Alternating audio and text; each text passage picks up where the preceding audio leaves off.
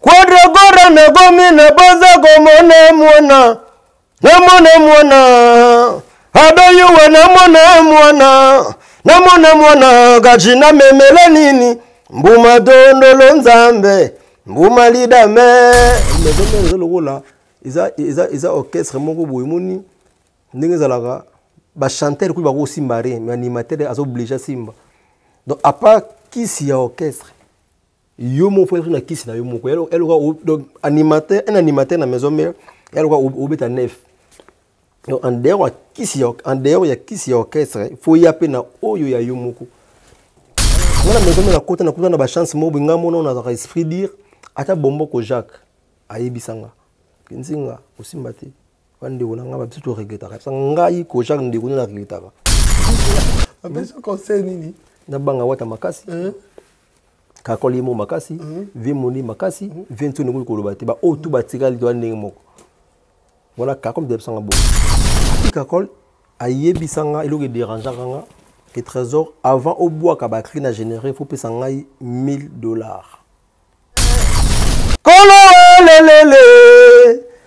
na nioso na sala bamona pamba badusoda yaya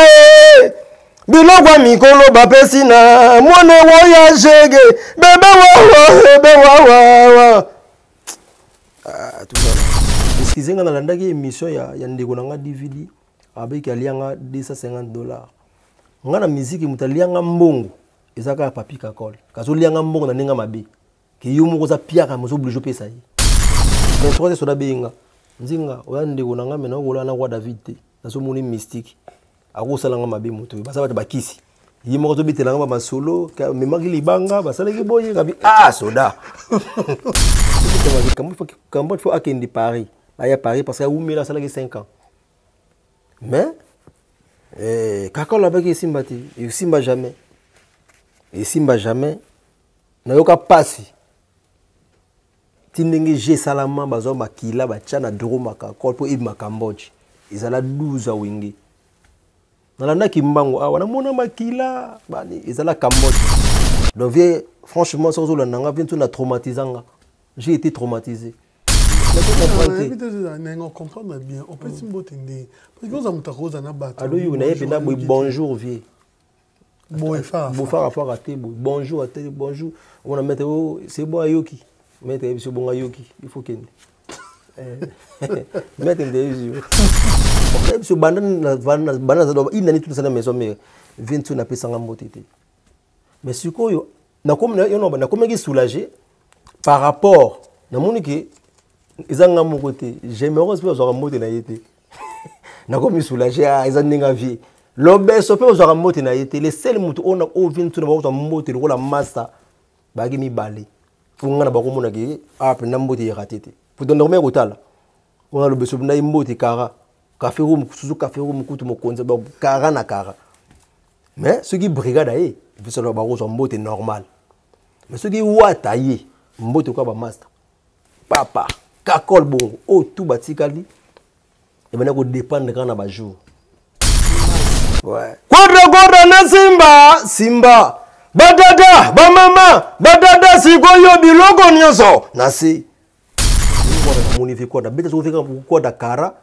na explikaka ke vie quadra utaka ozwa te vie nsoni ozwa te bongo vie quadra mpo na nga vie quadra aza monene koleka vie nsoni mpo na nga voilà eh, vie quadra na récupéré nga ah petit na nga donc vie vraiment yo muta poto moni nga karam ke vie avant naya anaki na maison mère vie nsoni azwaka te te nga na nkoi te abi nga na nkoi te ni moto azamba naza nga naza motu donc soki opesi nga mbote na kozwa eh, donc vie awa mbote kua naye bakojour moko bevie nsoni agangela lobeso bosomi na ye mpenza boye alobesa leki vinto nabengaka kolpecha oleka nga lobesa bino vi napesa ko mbutu ezwaka te eh, bafinga ye ya kosakana te onga na mona na comprendre ke vinto nene soki azwi mbote te seka azwi donc tokomaka soki oye bonjour vie oyebi ye moko oyebi ke okozwa te mais oke kaka nayebisi bvd omoni kri nabwakaka yo bandango ngai nakosukisa yango parce que namoni nabwaki trop ekosala monotonie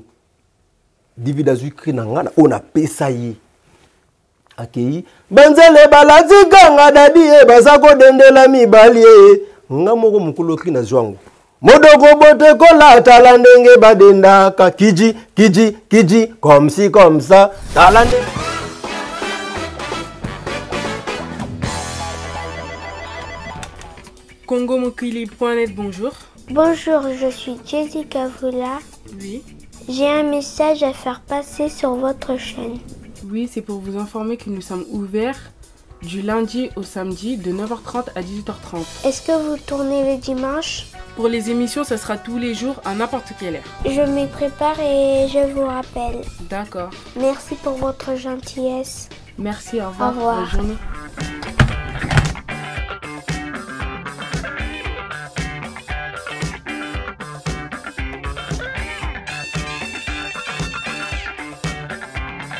vous êtes chez nous et vous êtes toujours la bienvenue chez congomokili.net. Ici, c'est notre bureau.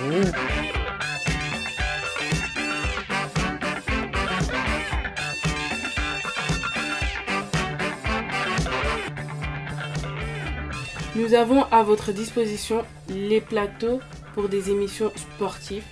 musicales, politique. nyonso tu ya plateau toa nango awa eza moko disponible epa na biso donc olingi genre ya mission sportif toza nango actuellement c'est le site le plus populaire actuellement non seulement de notre communauté euh, lingalophone que je dis mais aussi de l'afrique en général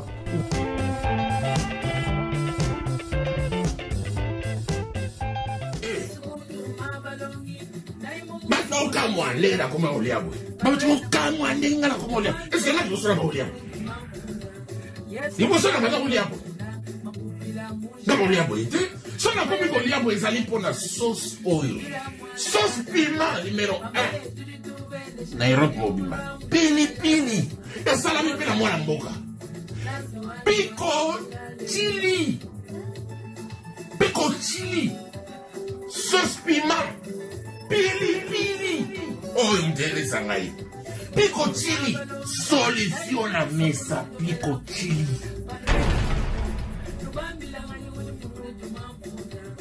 Ce qui se dresse entre vous et votre rêve, c'est la volonté d'essayer et la conviction de croire qu'il est réellement possible. LM Corporation est une équipe de professionnels qui met tout en œuvre afin que vos événements soient à la pointe de la modernisation. Vous avez un besoin, nous sommes la solution la team 4x4 équipe vos événements professionnels en passant par la sonorisation jusqu'au plus petit des détails. Pour cela, nous mettons à votre disposition mur de LED, location d'instruments de musique, jeux de lumière, matériel de sonorisation, prestations DJ, prise de son live pour revivre les meilleurs moments de votre événement, en voiture, à la maison et partout ailleurs. Pour plus d'informations, la SAS L Corporation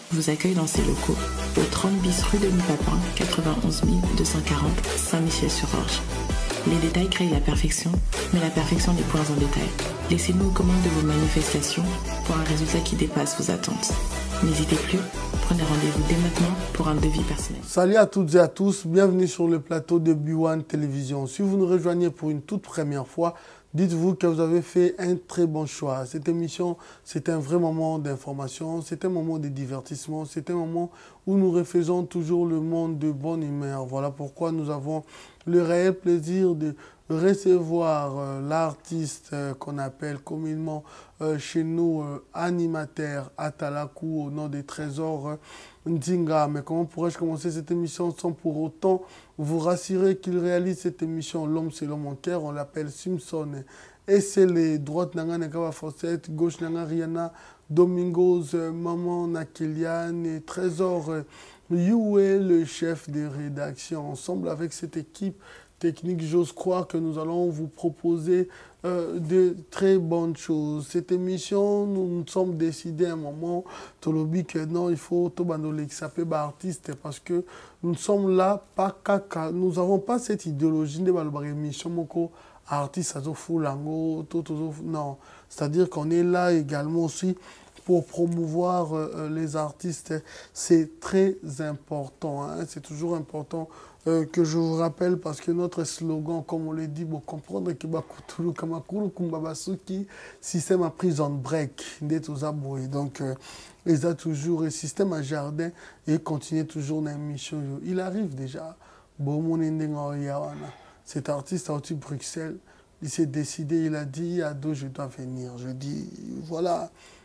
nous sommes là aussi euh, euh, pour les jeunes parce que d'une part, ça fait aussi partie, il y a CV Nabino, Tango Betana Orchestre, vous nous avez fait danser, les lobos continuer la musique, nous devons aussi euh, vous donner cette chance, hein, comme vos aînés aussi, Ba aines na biso mususu à l'epoque meme aux annees 80 90 ba pesaka pe ba mususu chance nous aussi nous sommes obligés euh, ya ko pesa bino chance wana boleka euh, na ba plateau euh, na biso mais avant tout laissez moi vous faire comprendre et vous confirmer encore que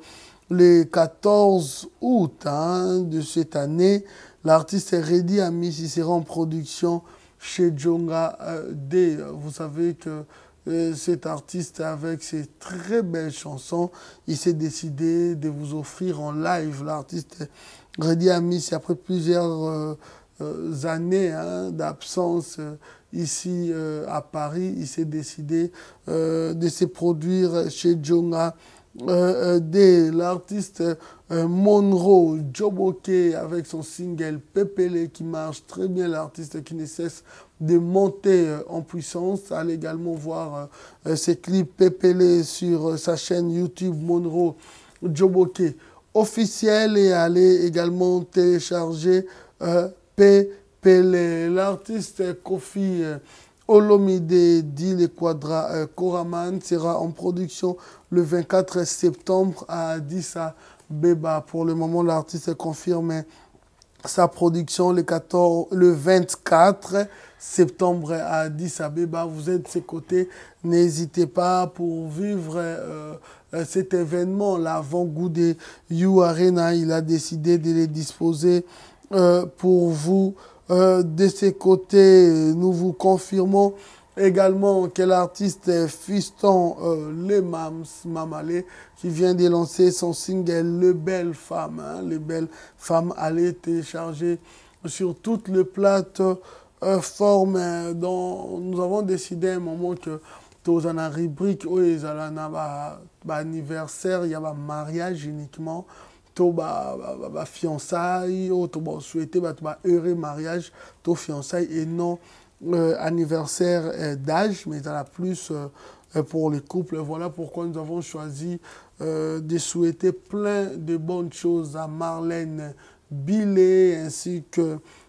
son futur papy Salcero Oyo, oh, bah, c'est fiançailles qui, hein. félicitations à vous, hein, votre fiançaille J'étais là du côté de Amiens, c'était la classe et la différence. Plein de bonnes choses à vous, euh, plein de bonheur encore, hein, de manière que, bon, réaliser euh, Mariage Nabino, mais je vous souhaite déjà plein de bonnes choses. Marlène Billet, l'horloge le cœur de Papi, euh, Salsero, voilà. Je disais qu'il est l'invité de ce soir, Trésor Nzinga. Quadrogora na gomi na boza komona mwana, na mwana mwana, adoyuwa na mwana mwana, na mwana mwana, gaji na memela nini, mbuma dondolo nzambe. nguma lidame kolo walelele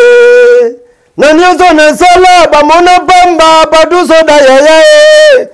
biloko ya mikolo bapesi na mwana wo ya jege bebe wawa bebe wawawa ah, tozana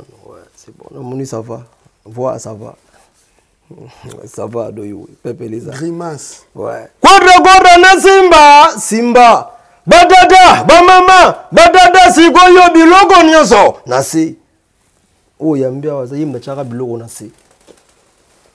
Fuka moto moto yaya, yama shakundi ye. Fuka moto moto Quadra, bijo matata, Salomo bwangi ye. Bamama balingaka boye, sire bengo alingaka boye. Ba mama balingaka bongo ye ye ye. Ah. Ozo continuer kaka. Ouais. Te po makambo tosala hmm. eh, bato na bapalin basepeli. Okanisi yo ko intimider nga. Non, nga naye pona intimider yo te naye kaka pona. Tu ne vas pas m'intimider. Eh. Tu vas pas. Banzale balanzika nga dadi baza kodendela mibali.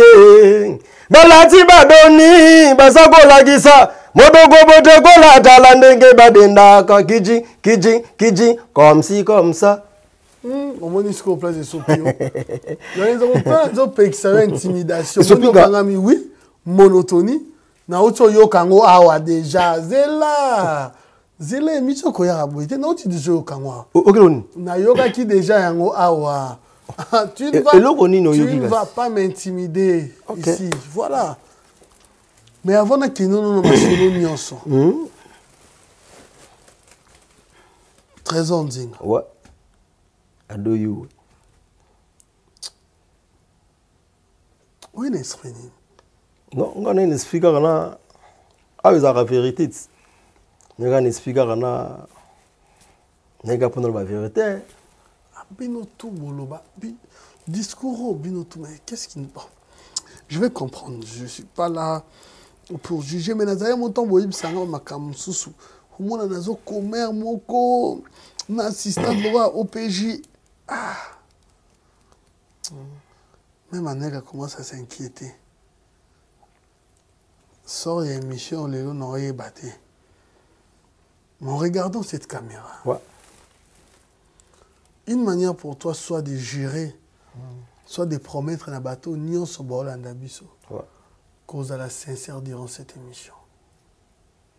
Ouais, en tout cas, tout Bolanda, Trésor Nzinga na moment oyo. Déjà ils en a batu belé au bayebinga au bazarananga. Bayebi que na naza mutu na lobara vérité mingi. Donc na kosaka mukie quoi. Donc ah vraiment na combo ya ya ba ya bana nanga déjà na ko tcha bango na marama musique te mais na tche bango na loba vérité rien que la vérité. napekisaka bana na makambo oyo kasi parce que eza nayebi ya manière no oza voilà eza manière na nga voilà donc eh, nabiki na koloba vérité je dirais la vérité rien que la vérité question mosusu na olongolongo mpo ndotie na kumba bana Non, non, non, non, non. Azo na tuni yo. Ti na répondre yo. O ko sa. Non, répondre non, non, non, répondre yo sincèrement. Le stylo question mo na olongo la. Eh, cha na yo question ni so o monige, je te jure. Na otika ngo zo longo la ebana ndo che na komba bana na ko na olongo la. Na kombo ya ba parents, donc na kokona papa na mère na biso. Hmm. Na olobana yo vérité. na kokosa ono eloko te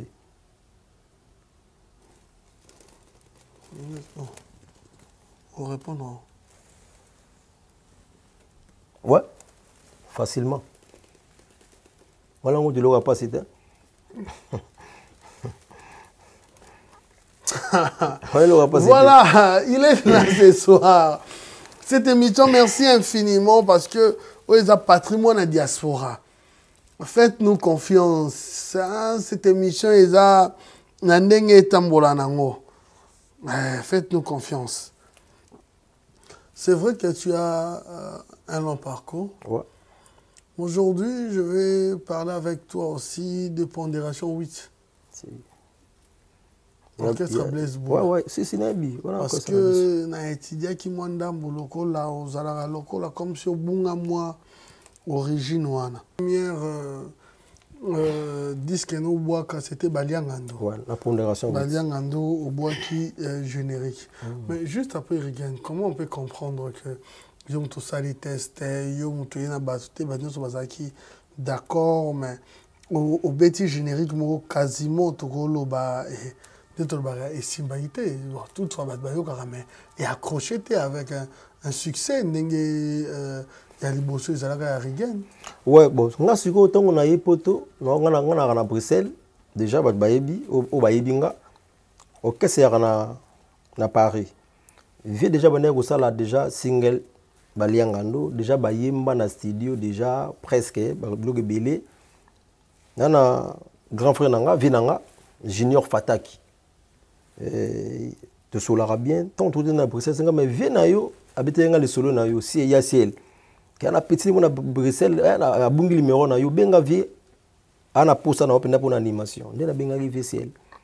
a ah, petit oyo obengaka nga te te vi ndenge ezalaka kaka banini vi abengisi nga na ya paris nayebi paris vi ayokisi nga bagénérique tala eza boye okota wapi donc nga nasala générique te na, na, na, na, na pondération donc naya kaka déjà eloko esalamaki nga naye kaka na mwa trois cri moko boye na, na pose wana kua ezalaki générique wana yaki idée na nga te nabwaka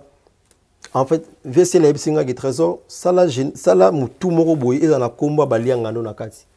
parce que générique tobwaka na geme rose tobwaka na diamant vert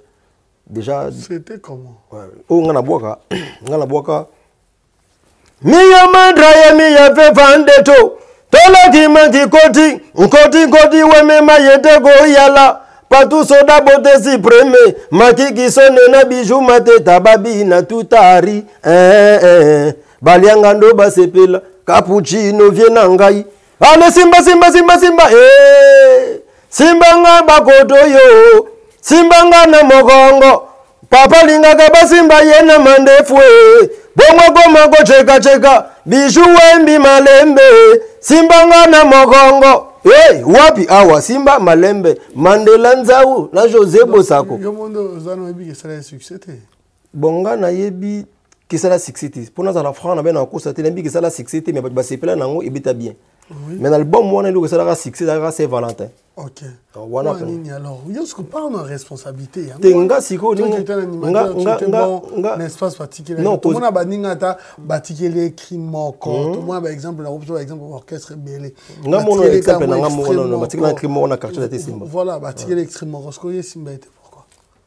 kasi eza orchestre orchestre eza ya, ya, ya, ya, ya vieux siels il faut tout na ye na générique wana ye moko vieux siel abwaka nga na bwaka diama bwaka Eh, gemero aza bwaka koto nyonso esimba te eza te ke kote ya motu moko esimbaki kasi wana alobi mhm. pourquoi kote na yo mm. esimba te mpo toyoka bagénérique mosusu bakataka parti oyo boye toyebi yango te ata dernièrement bagénérique awa ah, euti obima omonaka parti oyo nde ebinisa bato mm. quand même tu pouvais euh, te bon esimba te ya erata eloko bon e, mpo na ngai namona erata te ebeta mais nayoka yango mpenza na baboite lokuta mabe te nayoka te nayoka te mais bon voilà eza kesa vcl nayebaka te ndenge nini asalaka se valentin esimba makasi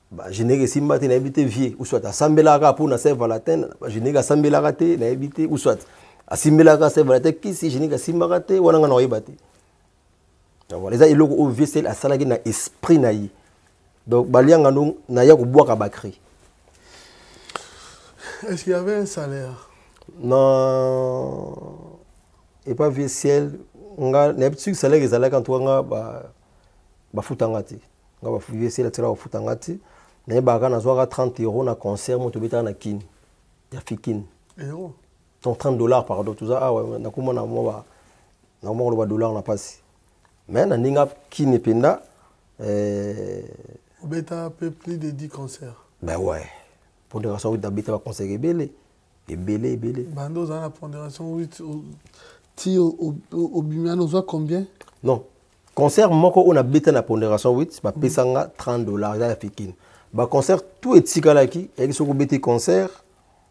ozwa mwa transport na yo ozongi ye ozongi pale transport nde mpena ntuka vcl bakozangisa te répétition oza na transport conseil wana transport mais salaire mpenza ezala te mpo nazala franc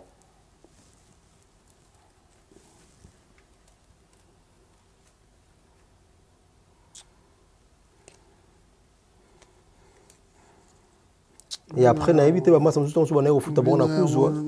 naotuna makambo nao ok boza boye mpo ya nini olinga moto azali na makanisi sur na émission parce que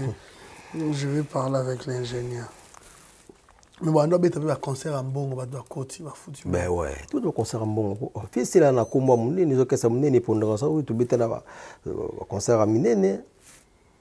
na suku ozwi ka transport te ngai bakozwa transport ngai loba ngai hmm.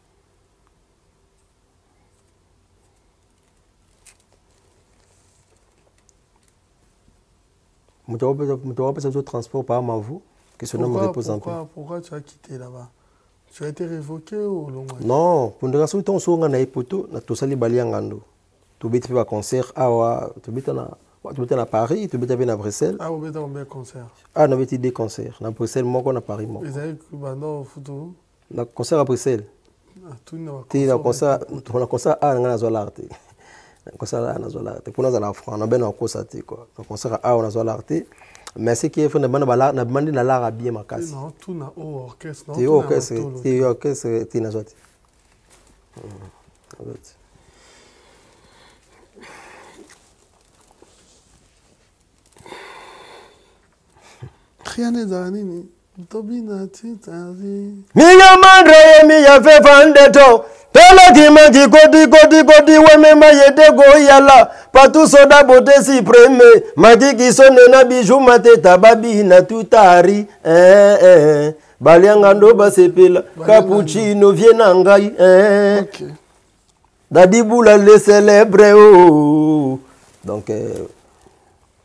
voilà quoi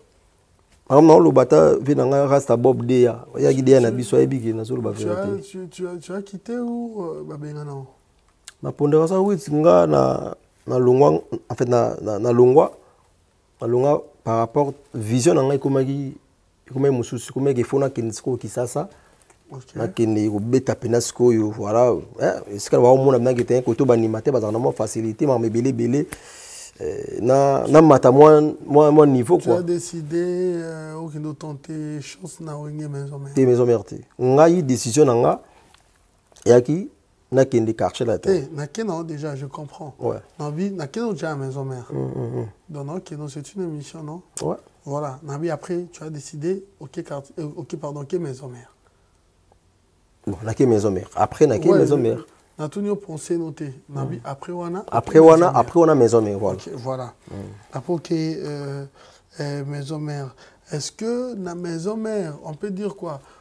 kokotaka maison mère tozalaka nanu bazotala yo nanu bon ngai namonaka ndenge bandaki kotala ngai nanu namonaka esimba te mpo eh. nazala franc esimba te nasala baeffort nabwaka baclub ya bien ebele mais bon Et... comment tu t'es retrouvé euh, na, na deuxième équipe na deuxième équipe raconte nous un peu en fait maison mère ezalaki ngai nakikini okay. to nakomi kisasa déjà Papi Kakol asolaka déjà bien na ba, ba, ba, ba na, na président Yulu Matondo, Aziz Makukula ba branché nga na Kakol. Kakol abengi nga que Trésor faut ya kini bani tozela yo. Et na ba premier deuxième fois benga nga pesa ko na na memele pédale. Moni pédale pino ya drum. Ah, il mo tinda ngo bani na kenda ko tongo bani ni 600 balles. Ah. Na benga Yulu ba Kakol pesa na mi pédale na 600 balles na kokate. Yulu pesa nga OK, c'est pas grave, je vais en payer là. nazali bana kei kini ntango nakomi na kini estomake ezalaki periode ya vacances la samba ezalaki na kermes apresente nga kimbangu na travaille na kimbangu na travaille na kimbangu totravaille ba un mois boye na palais mokimbangu ayaka chez nga nga nakendaka chez ye et après ntango makambo ebandi nasali test ntango nasali test nanga na maison mare jour nasala test wana bato basepela fort moi je croyais que ndenge ndenge bato basepeli boye esili nakoti mouvement et après lobi nango rep alobi kakola abeyi nga na miso ya bato ke ye tozwi ye mazalaka mikili mais obanda nao na deuxième équipe mpo akanga répertoire ya, ya mouvement yaki na choix te afandaki wana na deuxième équipe namona yango mabe mingi te mpo nazalaki mpe ngai moko te bon yo nayebi te soki opermete natanga bato naza wana na deuxième équipe les équipes wana toyaki na robino mundibu nayaki na ris matadien nayaki na asso ferrari nayaki na gemerose gemero totele mpe mikili ntango aye asali teste na ye mpe nzela moko na nga aepata fort mpo otalaka da geme na nga to toke mikili mozalaki na plus ya kombo ezalaki gemeros nga bayebaki nga te ye bayebaki déjà par rapport à les marquis par rapport à nzembo ya seva latin mais namoni ke j'aime écoute andimi korepete na deuxième équipe bon nayaki na choix te tobete na deuxième équipe wana ti ekosala ke na deuxième équipe tellement nakomaki koepate makasi nayaki na choix te faika bamatisanga na première équipe parce que na deuxième équipe na deuxième équipe to naobwaka bacrue omona euh, fabrigas déplique euh, tade de moti kilo leboga fo bamata baya kobina na deuxième équipe po bacrue na bango kobwaka ezalaki bien makasi fo baya babina banini komi bamongi ete fo tomatisa ye ti ndenge nakomi mpe na première équipe toyei koya mpe poto donc toye mikili tozongi kin ntango tozongi mpe kini yango na porte te na mikili batyaki na liste te na mikili ezala na va na palin eh, nicolas leka papier kakol oyo aza na epai ya, ya, ya, ya jésus de niance aye na palin no vienso na obi ke yaka palin donc journa yango adoyi oyo nasepela fort parce que nasalaki ba une année mo ba, ba, ba neuf mois napesaka vienso ne mbote azwaka te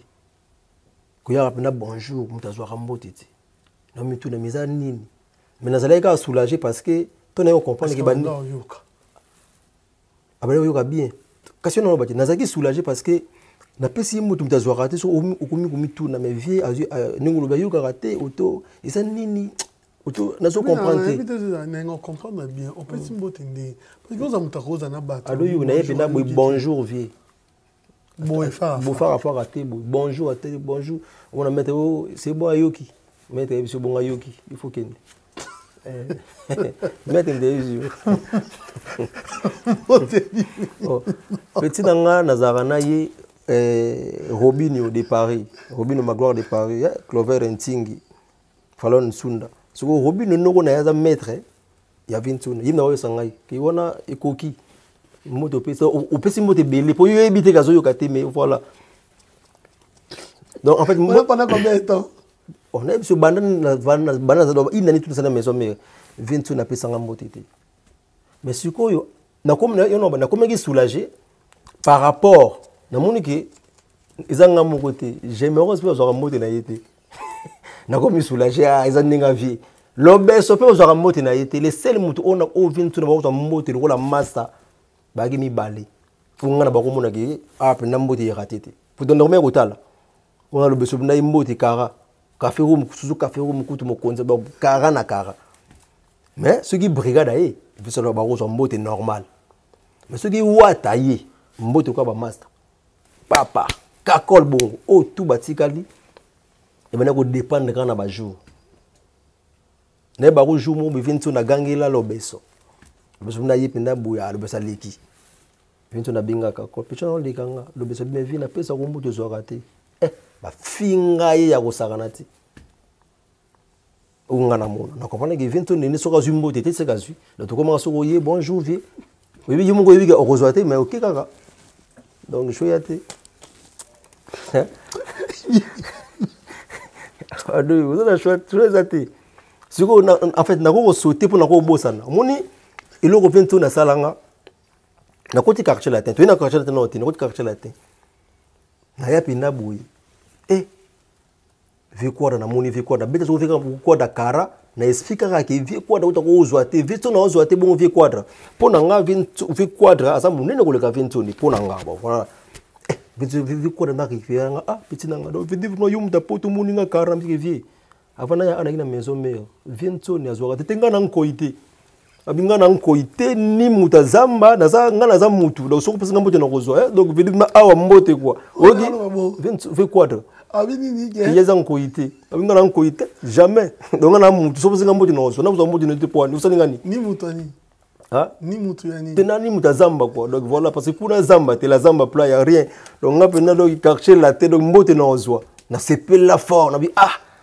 naniokami kuna epe yango nazobanga mpo nayebi ke nakozwa na ngai te donc c'est omoni vie to natya ngai na esprit moko c'est comme si balider to bapesa bato mbote te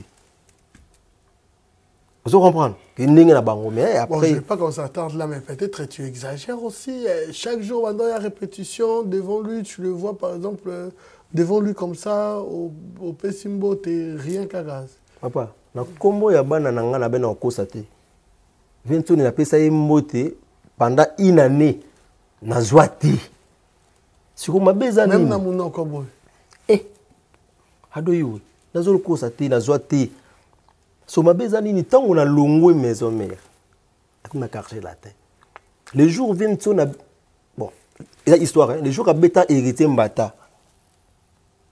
tokutana na vie na planète sono aya planète sono nga nakoti wana ekwei abeteki temba tanga na ebeteki aza kuna na planète sono nakuti vinsoni na babiro na ye banini banini so vinsoni bamoni nga wana mpe sika wana brakata deja ebimi mwa makambo ekomi esali ke maître ya vinsoni ayelanga mpena ah peti na ngai yo memoni vinsoni okopesi mbote te na biyaya ata napesi okozwa te donc nakopesi mbote te ozo comprendre donc soki mpe komona petro wana voilà nakoka te esalaka biso na ebimba ve na ngai yaki mpui namoni ventone naye napesa bato tu bambote koto ba ventone naleka mpo naomona nde nakosala te mpo nayebi kakozwa na ye te kaka maître wana alandi nga peti yo yoka osola bonde na bv yozo yeba te nga nasala inane nazwaka te nayebaka te ventone ntango so amonaka nga te donc vie franchement soki ozolanda nga vie nso na traumatisa nga j'ai été traumatisé parce que awa ah, tosalaka na bacompagnie ya minene patron aza na balara ya makasi mais mbote quand même wazwa mais vie nso ni mbote nayebi te voilà quoi yango bon voilà quoi nayebi te lelo ntango soki ya chanza mais sirine oyo nga nakendaka wana Mbota ozwa te. Na orchestre parmi tant d'autres tu avais remarqué plus c'était deux personnes au bandagi. Te nga pena en tout cas brigade étant que titulaire à animateur Wata na ba chanteur yende na sima papi kakol. Le reste via pesa bango mbote soka lingi. Na bite ke bango bango oya ngande ezaki à chaque jour. eh, ba biso mais oyo ya bango ezalaki alela pisi loba pisi na ye te ndenge eh, voilà quoi mais oyo mpena ya wata nde bango rate te wana toka namona te ka ye apesi jamais ye kuta feti na akoye akuta akuti bino biso na kara akepa wata apesi ye mbote Ok, voilà. Mais comment, comment est-ce qu'on s'est retrouvé dans Wenge euh, Maison Mère Napoto Napoto, ntango sikoyo masa wana nicolas ayei kozwa nga na palin ke vinton nabengi yo akei epa vinton vinton amoni nga sanga peti na oyoka ndenge obwaka sava mais mouvement ekei mikili ntongo nobeta zenith na opresente na zenith mais na osengi nga osala nga plaisir osomba billet yo moko parce que na okomema yo te nasombeli yo billet mpo nano obwaki te na album donc fo ya okende yo moko bani ah, d'accord nga te président ah, d'accord ok yango mpe esalaki na peyaka mpe billet na nga Eh? na mokanda na nga mike deja nga nakenda kisasa te sa mokanda donc nakosa kuta erreur wana te papa mpo naza na mauvais souvenir ya vie nanga moko didie mbole eh? euh, abeteke pa tata mobici vie ti lelo aka na kisasa naye toye mpe poto bapresentaka na zénith na ba 5 heures du matin ntongo concert esilaka mpe apresentanga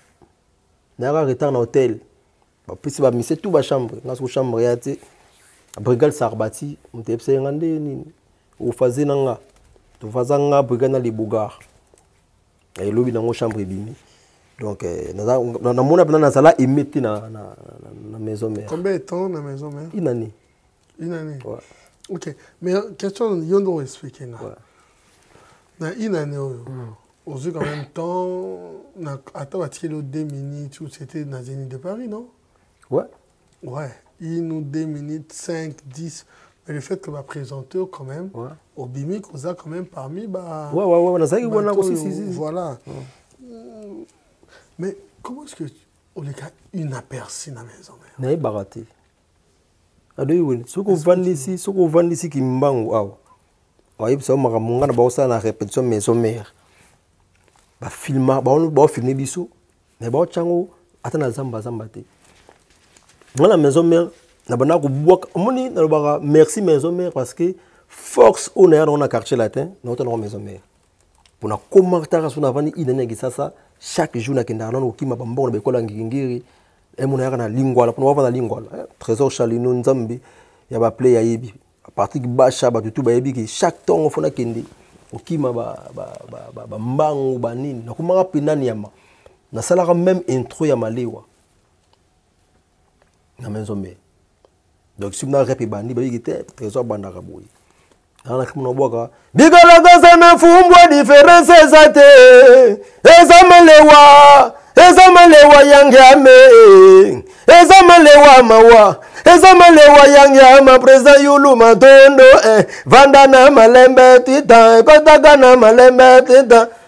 bapembi mabo balie mabo balie mabo nzeglize nonono landanga na kolela yangiama yoka mwana kolela ale dada mokwa zembe na bana zembe baboti zembe zembe zembe osatipinaki la samba eninganaka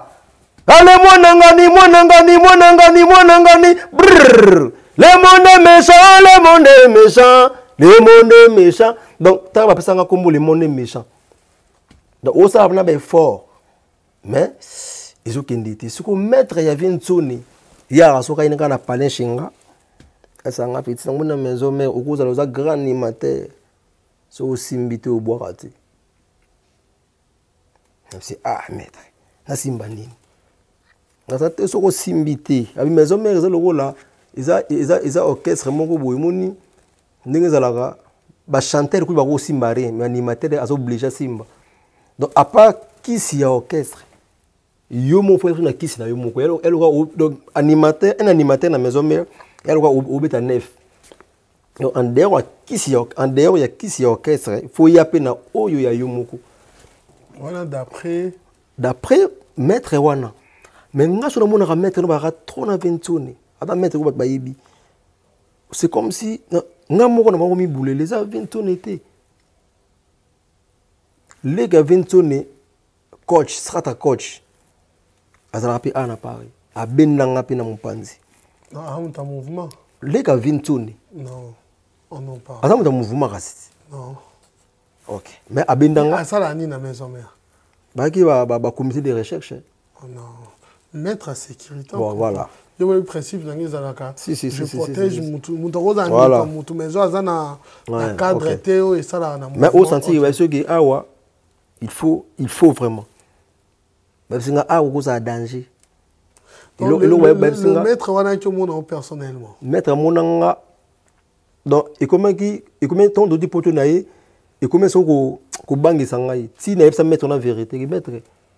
yo oza na mposa ngai nakota lifelo to ndenge nini parce que koma okoya ozo kopousse ngai kaka nasimba kisi nayebisa ye verité maître ngai na enviaka baanimateur te tomoni banda baanimateur babanda kobwaka bakri na congo nata na animateur moko na enviaka te na respectaka bango babwaka bakri bien mais koenvie na ko mpo animateur moko te na congo azwa orchestre ya nango ata poto aza te mais ozosanga lobeso na kisi diego aza na kisi brigada na kisi so na enviaka bango te naomona eloko nini te oyo baza na yango oyo ngai nazangi donc nakokoka te nasimba kisi na bozoba vomi nasimba kisi nakoma kaka patron mbala moko nakokosala makambo te nasa maitre wana boye après nandima te okende oh, na rien après eza mosamaria sabena animateur abwaka papa josé de niance ya ye ntonga ye mbala moko amati mbala moka première équipe mbala mo makambo mosamaria ayesu na palais nshinga abinzi nga yo fo osimba mouvement oyo bato wana ozomona na bato mabe soki osimbi te ozalaka na logique no boye esimba te sikoloki dérange nga mosamaria aye bongo na suka nango o oh, nzinga nde nini na taxi moko libanda ezela nga lukela nga 10 nga bi ah donc ya yo simbi kisi oza na ba 10 te ah ya na osimbaka te bosika baja bozoba nazala mpenza bongo nazala mpenza donc en fait ngai na maison me nakota nakuta na bachance moko boye ngai mona oyo nazalaka esprit dire ata bomboko jacques ayebisa nga nzinga osimba te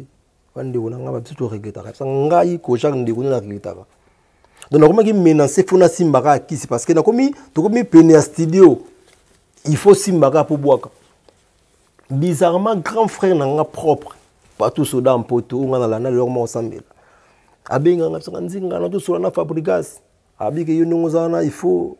opola kaka nabi kopolela ti nini soda azala mokolo nzinga fo osimbaka kisi nabi soda yo tinanga donc yo yaya na nga ozosimbaka otinda otika na tindi na ngai yo te mpo basango mpe bazali ekomi okima yango tika banga bisoda tika baja bozoba mpo ngai naza dire akuire ngai bamemaka memaka ngai mpenza te nabi ke te solo esimba te oza vie na nga me nga rien esimba te tu es sûr que tu es sincère je te jure devant Dieu. C'est c'est Non, il ça na combo euh, na oh le bango te par haine moko na batu. Te na le bango na haine te. mais tu tu c'est la réalité. Réalité yango. OK. Réalité yango. nalobi te ke fabrigas awabi na simba kisi ayebisi grand na nga ke nzinga mpo esimba na maison mère il faut apola okay. alors kopola donc soda ayebisi nga bongo ayebisi nga na telefone abi soda esimba ti wana fabrigas na maison mère wana fabrigas na maison mère wana tozana fabrigas ayidanga fort na maison mère okay. bafabrigas badeplique nabi no toloba ngo ana deuxième équipe bombo naye komata fabrigas ayebisaki ngaki na maison mère ndongo ye boyebaki moto bakoniokola pisi eza yo parce que outi poto bango ba diminuer mais jamais ezaka bongo ba diminuer yo nanu après ça ba donc voilà après ça exemple moko boye ya bisanga soki mutu azaya ko telema soki oye otye ye boye okofina ye mais soki oye ozoya mpo otya ye boye amivandeli na ye donc mofina ye atela yo mikitisa na yo na mikitisa na maison mère wana presque batouche oyo bamisi basimbisaka bato eh, papa nga soki deja na maison mère olingi osimbisa nga touche zala sika esimba nango esimba nango ngai nazalaki na vani na kiti namoni mpe wata eh, bosla epe niao vani nango oka te te te te vani nango trésor na voix normal mpe naosala yango te ozo comprendre na ndenge mpe na zolozi na grand garçon lokola nga jamais na ndenge maison me na comprenaki déjà parce que kakol mpe ayebisaki nga déjà ke na maison me wata fo kobangi makasi nga moko kobanga nga makasi ovi ntsone bavi moni baoyo batikali wana banini jamais soko nga na idéologie na nga non ba verité nga zo na idéologie na ngai mbote zela apesa hmm? conseil nini na banga wata makasi hmm? kakoli ye mo makasi hmm? vie moni makasi vie ntu ndenge koloba te baoyo tu batikali to ndenge moko wana kakoli bidebisanga bongo soko nga traza na idéologie na ngai donc soki naye pa bato na respectaka na sentinelle mpo ayebi secret ya lopango wana koleka na nga donc nga so na respecta bato nyonso na ba chiga maison mais wana na respecta bango Mais est-ce que c'était pas, tu t'es pas aussi jamais aussi posé cette question, hormis Marambo Toloba, mais pourquoi Bati Kelaki Otobora peut-être aussi peut travail par rapport à Baninga ou Bazarawana quand même, ezalaki mpe mokie peut-être travail ezalaki mokie peut-être créativité ezalaki yango te bozali baanimateur euh, ebele omoni omoni déjà na maison mère eloko ezalaki sur ke na obwaka ba cri na nzembo ya papi kakol seyaki générique na nzembo ya papi kakol eza na animation mais papi kakol ayebisa nga eloko ederangeaka nga ke trésor avant obwaka ba cri na générique fo pesa ngai 1000 dollars ayebisa nga fo bwaka 1000 dollars parce que excuse nga nalandaki émission ya, ya ndeko na nga dvd abeki alia nga 250 dollars nga na miziki moto alia nga mbongo eza kaka papi kakole kazolia nga mbongo na ndenge mabe ke yo moko oza piaka mozo oblige opesa ye pourquoi tu donnais ça pourquoi parce que naza na, naza en fait na na na, na ye maison mère na bit na bwaka bato ba découvrir ngai naomona esika mosusu nakosala te poids na ngai ezalaki mingi kakol parfois nalobaka soki ezalaki ata wata ntango mosusu parce que wata ayaki mpena na eh, mpo na ngai après vensone se wata namona makambo ebele ebele osanzaki si wata atelebi atelami mais papi kakol mpenza tosolaka bien lelo mais alia nga mpenza mbongo so mbongo oyo bakolia nga seki evre ezalaki mpe ebauta na poche na nga mpenza te nayaki na baka bazwa tu batikela ngai Président Yulu Matondo, ye nini bakosala bnage te eh, soki kakola bengi na bengi alibere nga mwa 500 mwa 300 so asenga nga malgré bambongo ebele ebele napesaka ye wana malgré badrum na memela ye ba 600 bale mpe na studio ya générique ayebisi nga kefo napesa ye 5 napesa ye 1000 dollars nayebisi ye yama na na 500 euro à l'époque 500 euros yosala biso ba 750 dollars abisanga te fuku okosaka 1000 bal nsefala tokotala kasi amata na podium sebene ebandi abandi kobwaka bacri papa vie monimba yokitisaka na podium nde nini wana touti na mikili nde nini kita akiti to nakiti navandi na se rep esili narab na choqué avandi nango libanda ti bamisemi na presque tout basilaki nasikaleka ngai na petit na ngai clover etingi eh, na dadi bendeli namoni petite sœur na ngai manange napesi ye mbote esika azali abengi nga ya trésor ngai nalembi nanga koswana apwani na bive na otalo na tv nde bakizo na podium esali nga mpasi ya trésor eh, mosuku makambo la zamba ekomi na po zamba zamba ti ekomi na palais ederange nga fort nabiki nalongwi asilisika nisi bato yaki na bango naya sula samba te nalongwi parce que nasali baeffort oyo nako kosala eh, nasali baeffort ebele ntina ndenge apalin banini ekomeli bamare nakoka se nakoka te naoza na souci te senti euh, humilié makasi ouais. ouais. naba nakoka te parce que nakosimba kisi te mpona mpona makambo oyo nakopesaka bambongo te mpona kobwaka ngai mona na lar te na moto alar te nakosala befort mpona bwaka bakri te nakoka te e na butu wana nakenda komona brigade sarbati mpona senga merci brigade azalaka na bepari awa soki naokosa un jour aoleka nga na luka brigade ke sarbati nasengi yo merci nabundi to namoni esimbi te papa esimbi te donc eh, nakoka so te so ntango so nazongi na palais nde nakomi kobule ti nabi ah est ce que roi david atrikanga te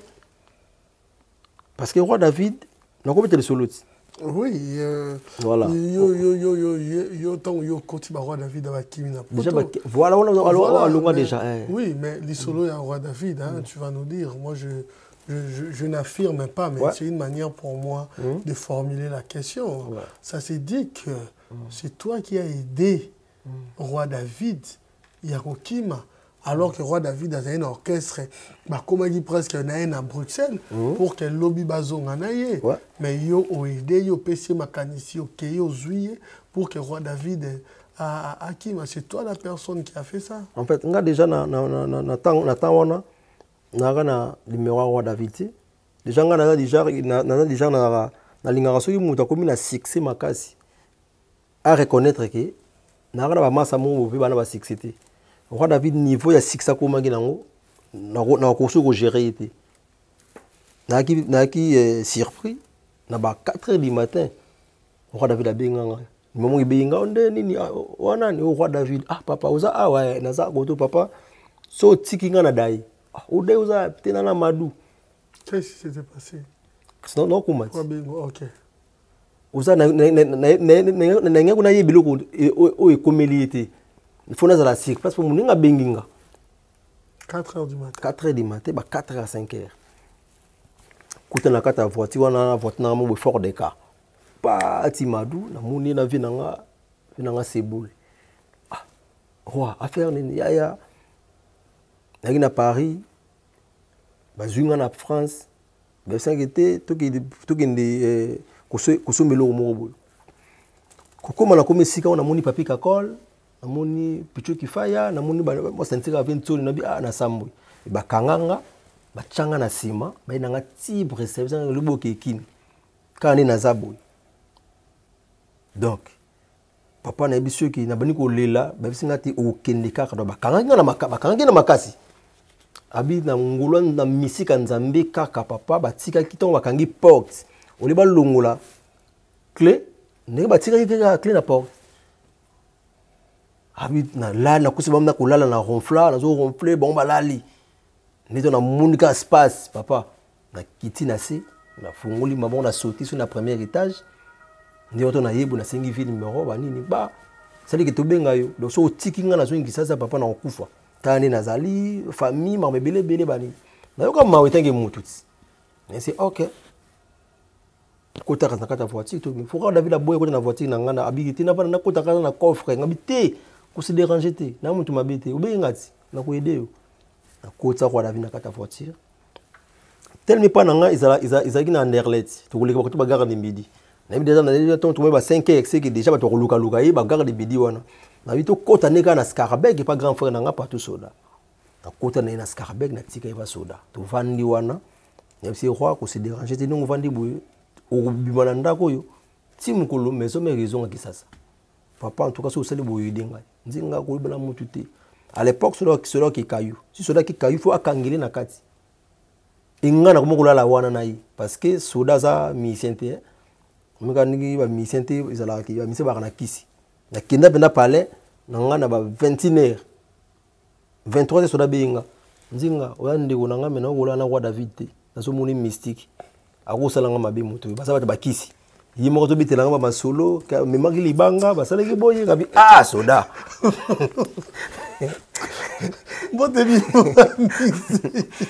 tena bamasolo oyo eza bahistoire vrai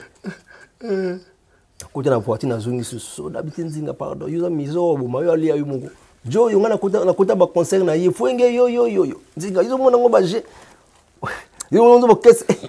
nga na fani obiki ah roi tolala kaka soki tokolala tobomaka mpe bomanga kaka tolala na roi nalala na ye soki ba 5 jours mouvement mpena ntango soko ekei nde Surazular apesi nga toke na roi ti pa gare du nord je crois abimi nzela lille tete mwana mai yaya donc nga nakimisa ye te nayeda ye nde donc voilà quoi nabaki eloko fo naloba yango mpona se soulager parce que omoni bato ebele bakobetela soki ngai na na droit okimisa moto na poto te tant que musicien jamais voilà sikoya biloko wana nyonso na baomona yango on dirait yango nde est ce que son bongo pourquoi david akokenda bete biso na ndenge na ngai eh, abeti biso na ndenge na ndenge na ye ke ah, masa wana trésor nzinga yedaka nga tala boyeboye ekomeli bango ba ah, jo ifo tokembisa ye epota nga ezalaki na sense wana tolobela babrita zimakani na papa poto ayebi masolo oyo mpo ntango esalama tosalaki zalaki wana biso nyonso na bajo eh, tunansi toyaki na mwa ebele quoi brita zimakanda ouais, ah. je vois c'est un frère ouais. mais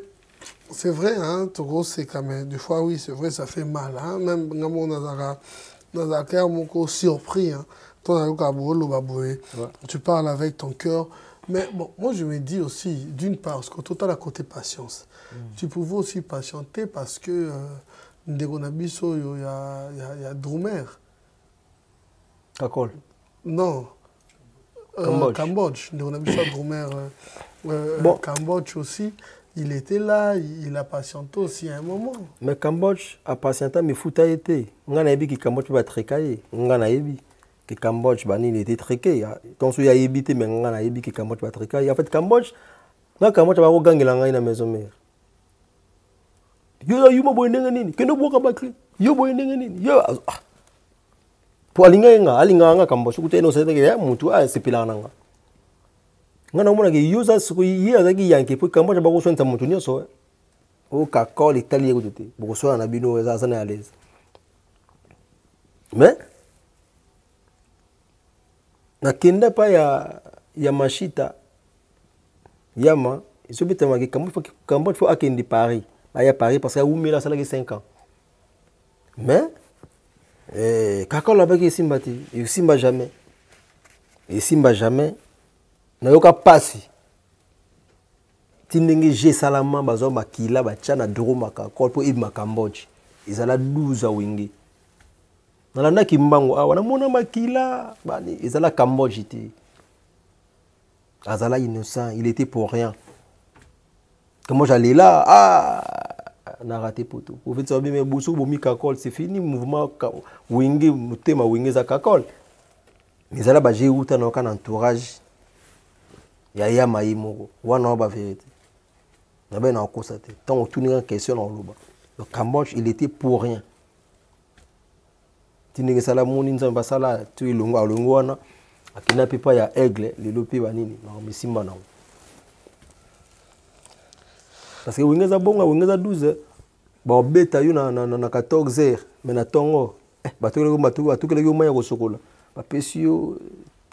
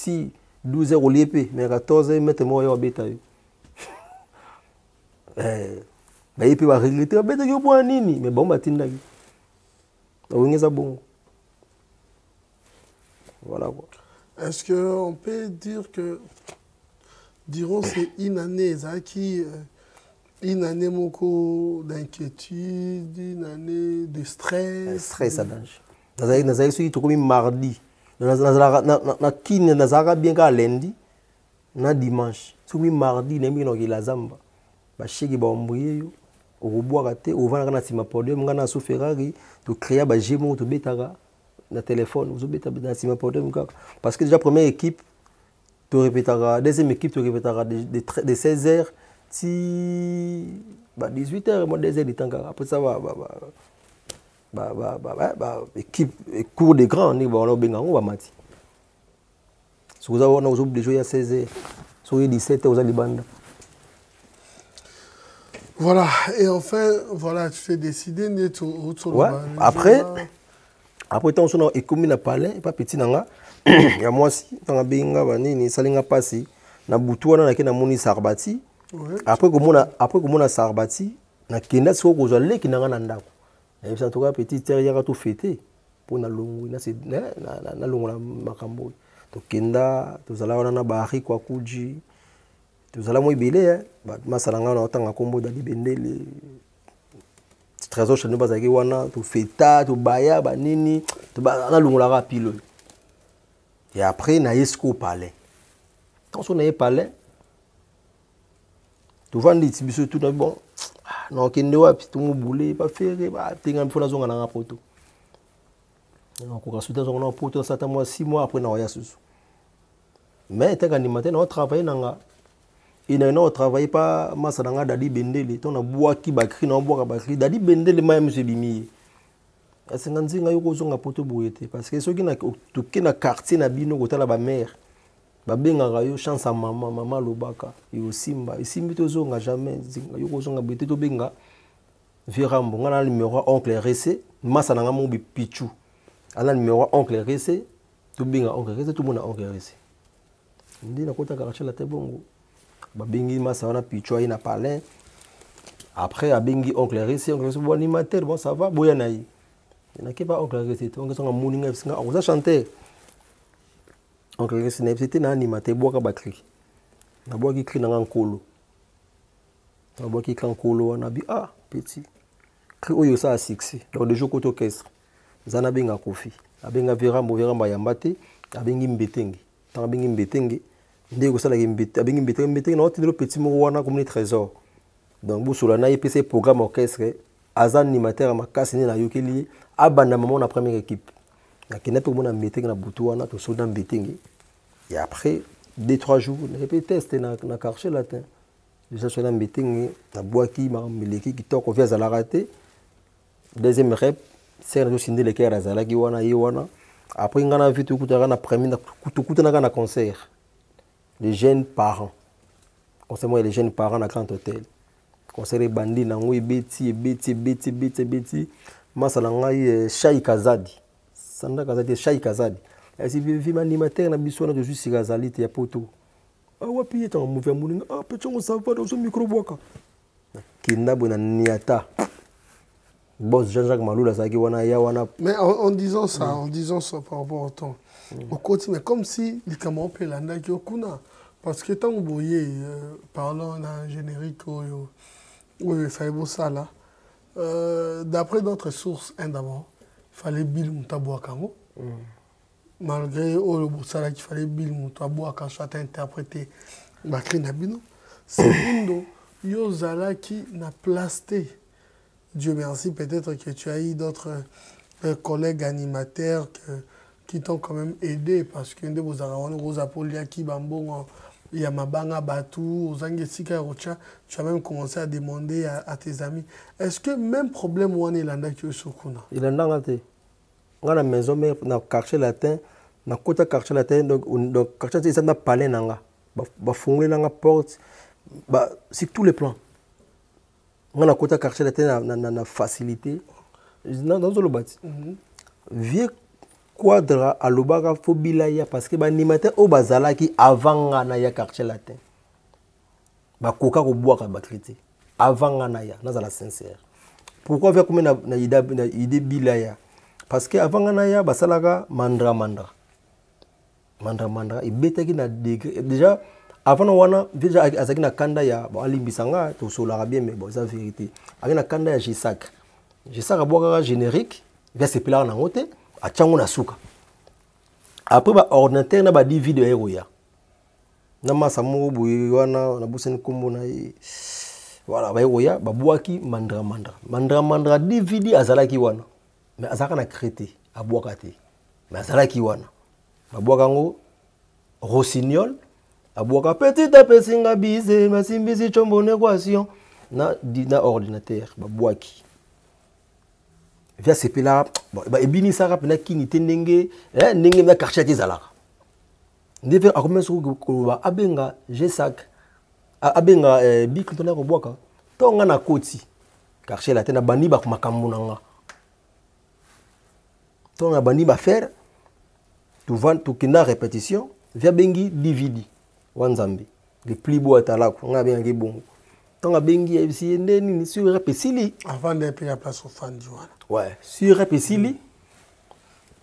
boya na baanimateur na palais shinga po tokoki na maka mpal mais tokoki na mofleki pa vie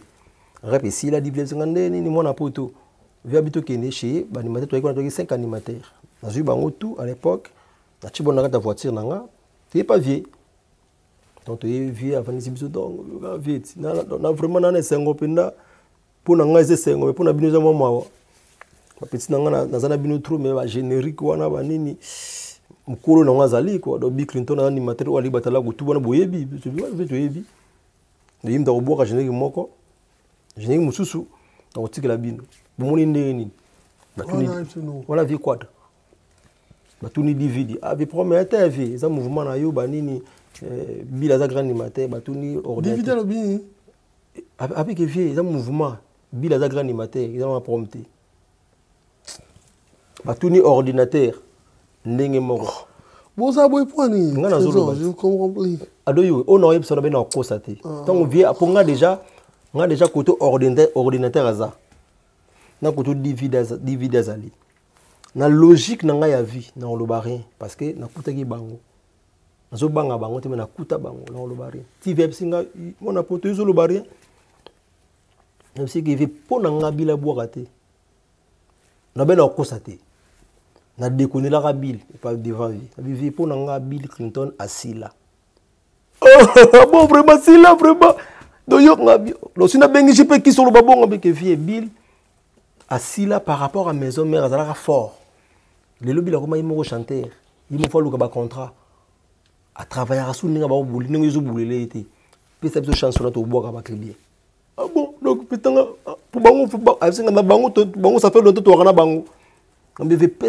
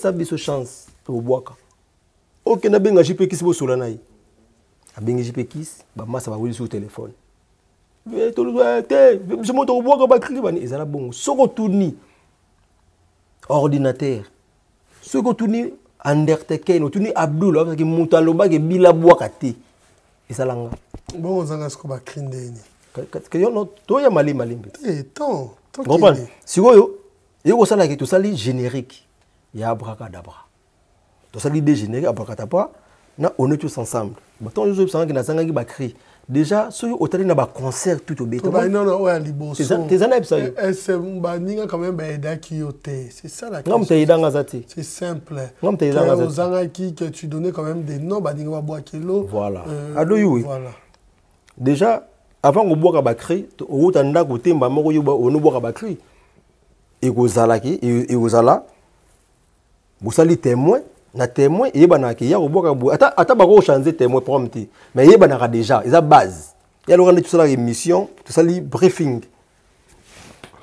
excuse de de ngai nayeba déjà ke na kobwaka kwada kora namona mwana mbo e, e, mbuma tondolo divide ebeke kobwaka cri ya petit mobe rossignol eza mpe cri na ye te eh, papa na mama basololaka wapi donc voilà bika avec ya obwaka cri wana on ataka avec obwaka cri masa na biso moko ataka de pointe à longwa vutuka luanda na boya ndumba donc toyebaki déjà ngai nayebaki na recherche susu asomba tukutuku tobwaka ngai na abdul mpo biso na abdul tozwaka cri wana toyaka nango na quartier la te toyeba yango mpa mabele lisi omoni mpo mabele lisi ayimbaka bayibi bafuta te bafuta voilà biso toyibaka yango vie kota bato te donc ngai nayebaki na obwaka bacri déjà na obwaka bato preuve à l'appui na na cri na ngai wana ya quoi d'accord na mona mwana na bwaka 13 personnes si na tie komba vie eyema lokola 14 donc nayebaka déjà mpo bili mpe ayokaka yango déjà yango asepelaka bwaka bacri par rapport a babiloko ayokaki sikoyo toyi na studio adoki wena bai na kosa te ngai naye na studio ya, ya, ya ndiayi naye na ba 6000 dollars parce que moto oka mamadou wa riche déjà apesaka nga ba 2000 mpo nabwaka ye mamadou wa riche bamasa na nga awa na poto ebele awa la ya nzinga quartier te libanga déjà pas vie quadra déjà 500 500 500 euros na dollar déjà epesa makambo so naye nango na poche namoni kenda na lisa molai tokoti studio moto abandi kobwa batri liboso dvd ah, le plus ebwa talako oyo prêtre poyeba oyanga prêtre mwana poto prêtre yo oza na bato akobwaka ah protena na bato te wana bato te dividie ah napesi okasomi tobwaka kitoko napesi okombie napesi okombie o 100 bale e eh, nagangi e eh, te cata 80 oh, ngai nagangi moto e eh, nasa motema biki ngai e namoni oza mokie mpo na niveau quartier la te ebwaka mo na 100 bale naesi ezwa 100 bale oyo ebwakelanga vie nanga ezala bongo ezala te ke ngai nakozanga bacri eza kotuta tolo te soki eza kaka dipli te napesaki lare eh. napesa na baordinateur eh. ordinateur abokela yango de 3 personnes napesaki 300 balle soko motu moko na kini komoni mania mwamba mania mwamba apesa ngai 600 balle naye nango na studio ordinateur oza na bato te apres tena na bato te 300 balle obokela ngai mania mwamba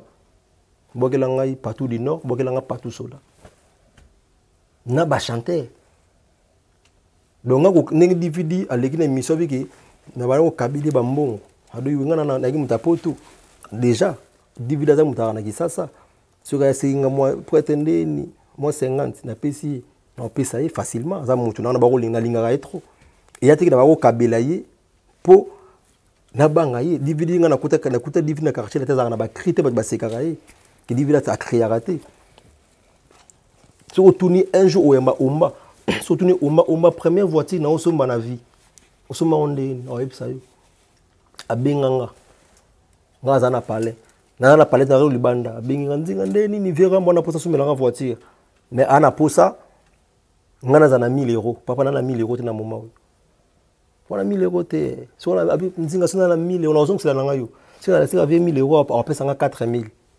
na benga Cloven Tingi bazaki na Glodine Tembo na Robinho Magloire na ibo kende na palais pa Sire Bengo eh, mère palais Sire Bengo bozwa 1000 balles bake bazwi 1000 balles baye nango ti na ndiayi na ye wana napesi omba omba ke apesi vie vie azosepela omba waka na 1000 balles na yo ah vraiment omba asepela vie abimisa 4000 euros apesa omba na bakosala yango mpo ani mpo baza bato na ngai na biso ke makambo ya solo omba aza wana otuna omba ebongo bacri oyo obwaki wana bacri tuna bwaki ya cri na ngai biso awa cri na yo ndeni yo noba te yebisa nga cri nini na explike yo na bana ba vérité olandaki explique nous directement ado yo cri nga kanga ba cri ado yo omoni omoni cri moko divida bwaka awa banzele balati kangadadi eza cri na ngai napesa yango na studio pourkui napesaki ye parce que nantoloba awa biblia azalaki motu azalaki na ngai bien na kisasa nga vi apesi nga charge nasali natya intro mobimba na abrakadabra esi nga intro oyo yo mpe obwaka yango ntango azoloba na ngai bongo bazalaka na sere na biso moko igeta tanjo abisi ngai obwaka yango mpenza kua mpe intro yango oyo abisa ngai nabwaka yango na travaille yango na mbetenge yango un mot na comprendre di na comprendre dvd te koma moto kokoma na niveau ya kokosa na conscience na yo bato baza na poto mbetenge azalaka na paris on est tous ensemble eza générique oyo mbetenge abetaki nsima wana ngai na travaille yango na ye kua dakora na simba simba ngai ti na travail wana osimba nini onoboya eh. kosimba koteka eza sikoyo grimace omoni nga na quartier latin bato ebele babikela na kisi mpo eza grimace na baoya emo na chapeli na olia yango mais eloko ya te na bafiki te parce que namonaki na maison mie lokola nayaki mosantu bamonaki kaka okoba ah fo nakosa bango emo nayaki nayebi naye na podium boye na baluki na nsima nakokota na podium na ndenge kobaluka na ndenge nsima eza kaka eza kaka makambo on a joué la vérité na travailla na travailla ba cri na ba na na ado yo surtout kikutu plus loin nga mwasi na nga ya ndaku na ba bibia ya ndaku mama ba na nga na ba ko zoye na ke na ye pa mona mi gelor na bwaka ba cri na bwaki awa pour mwasi na nga bina bien gelor mona mi gelor azo tala ndenga azo bina pour akangi yango après ayina yango apesi ba danseuse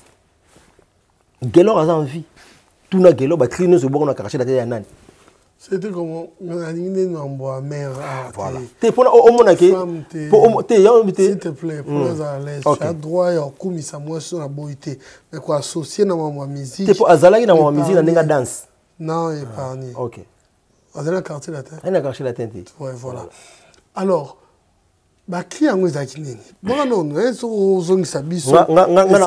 na banda ata na simba wana na banda kodra kodra na simba simba badada bamama badada sikoyo biloko nyonso na se wana nga nakei mabelo mabele lalala elle est vraiment belle o oh. mabele o oh. mabele nonono elle est vraiment belle Bana oyo bamilelaki na ndoto batondi balamuki na ntongo bayoki nzala mpo bamilelaki eh, yulu matondo bayoki nzala mabelo mabelelelele ele vrai mabele mpona nga na continue kolo eh, kolo welelele eh, na mioso nasali bamoni pamba paduso dayayae bakamati biloko ya mikolo bapesi na mwana wo ya shege bebe wawa bebe wawa bebe wawa bebe wawa simba ngai na nzoto yaya simba ngai na tendresse bamama balingaka boye wana kanga basheri balingaka boye namweke namwaki trop na ke susu mosusu fuka moto moto yayaya mashekundie fuka moto moto quadra bijo matata salomo bwangie bamama balingaka boye bajeri balingaka boye kaka nga susu jeri kaka moko nake mama siska ye wana oyo akimaka basoda akimaka likunzi bubuli yonela ye wana ale nayebisi dvd omoni kri nabwakaka yo bandango ngai nakosukisa yango parce namoni nabwaki trop ekosala monotonie dvd azwi kri na ngai oyo napesa ye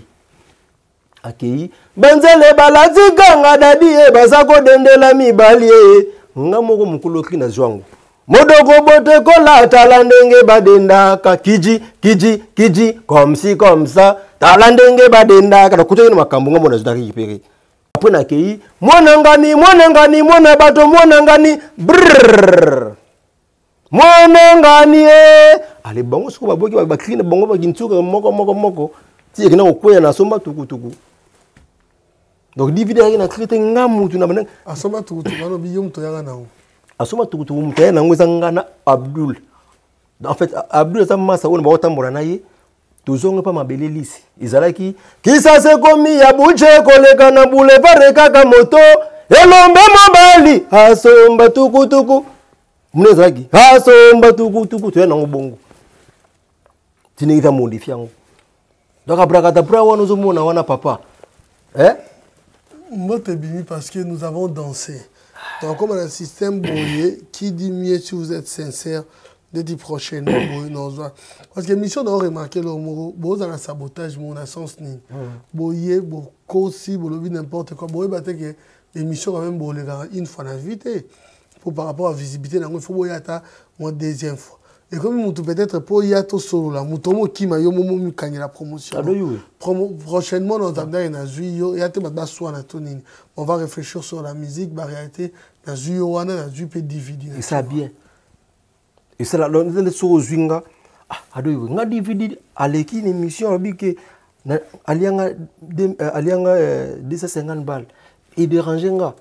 ye kotala 250 balle ya mokie atuna bamasi ebele wana na kabela enfin nga nayaki naza jika ntango na na kisasa wana soki dvd osengi po dvd na kisasa 50 euro lix naokosa te à l'époque lelo namoni mwana mai ça va ah ouais. ozo comprendre lelo orange eh, ben voilà comprendre ah, lelo ça va mais faut andima lipase na ye ah. ntonga na ye kisasa dvd ya likemba ayaka repetio na moto yango baba na kala moto akoleko lelo eh, lelo orange eh. okoka te ozo comprendre oti obundani mpe namoni na baimage ntango oya wana yo mpe range te neti ngai azona kobeta masolo barange te ngai nakobeta masolo mosusu yaya donc masolo wana akobeta tomoni range mpe fokende na bilamba te okomona range oyo na bilamba masalaka dvd eza koseka te mais range na chemise ya mangamanga yaya toza bato te okoya mpe range meke ti na bilamba bato bakanisi okola basimbisi yo kosimbisa fo beta peti c'est bien bongo mais fo il faut comprendre ya te ba nini ndivila dekonela nga trop asali biso mosusu na bakisasa kende nini nzinga ayaka na bilamba ayaka na bakriti iderange nga et peut-être moto onga na bango kabila fort ye moko andimi yango bao Mais Micho, on ne ah. pas des attaques personnelles. C'est vrai. Est-ce qu'il y avait un salaire dans, dans Quartier Latin Quartier Latin, salaire, ils là. On est rata raté. On a Quartier Latin, salaire, ils là. Chaque mois, on a 150 balles. donc voyage na rate voyage na rate te salaise ata bavoyage si batikaki nga ntango mpe ayaka babengi nga sasenga nobala e arriva kutu afuta nga afuta nga tobenga yango rappel ana mikili wa barappel asala nga rappel ya 3 mois donc 3 mois nafutaka te nakendaka mpe te nalelelaka ye mpe te mais mais mais c'est vrai okolo makambo olobi wana mm. nazali ko surpris yebi qu'il y a pas longtemps na oto landa esusu batikela au générique ya mobimba ouais kasi c'est quoi encore le titre envoûtement en fait nga na quartier latin abwaki yoka na ouais. envoûtement eyebani nulle part mm. donc ezwaka quartier latin mm. batikeli au générique mobimba mm. eyebani nulle part ouais. est ce que c'est pas aussi vous aussi bopesaki kofi gu akoma bwaka ye moko parce que o oh, apesaki bino tante apesaki wana esimbi te et à un moment aussi ntango equalizer ayaki nayebi te bar na ye elekaki tellement likolo que tu t'es perdu hein? non, non. est ce que ezalaka mpe niveau par niveau equalizer equalizer euh. equalizer mpo nazala clair na bino nakokosa te equalizer ntango aye quartier latin asali eh, nasala ba, ba, ba 45 jours à 2 mois mpe abengaka su baanimateur tika equalizer ye moko bakoti kutu studio na equalizer wana ngai etanke animateur na travaillaka mpeka na bakitakisa na ndenge pale ye osalaki na répétition moko boye sikovi bon ça va equalizer trop abengi mpe biso abenga biso banini voilà na saute mission na bini mission na ok l'été bani ma ebele befa benginga lobby ya rep na ye rep veille biso biso bani ma to fanda ndika ndika to fanda na ba ordinateur bani na bon ça va bino na wi bolo ba loba ke ngana olinga su bino te equaliser ndinga zana ye aye si kamana ba cri ko leka bino boye boye boye boye bino wana ba cri tuni ordinateur na te vinga na ba cri te ayine sincère tant va tuninga bite vinga na ba cri ah bon yo na cri na cri na yo kakas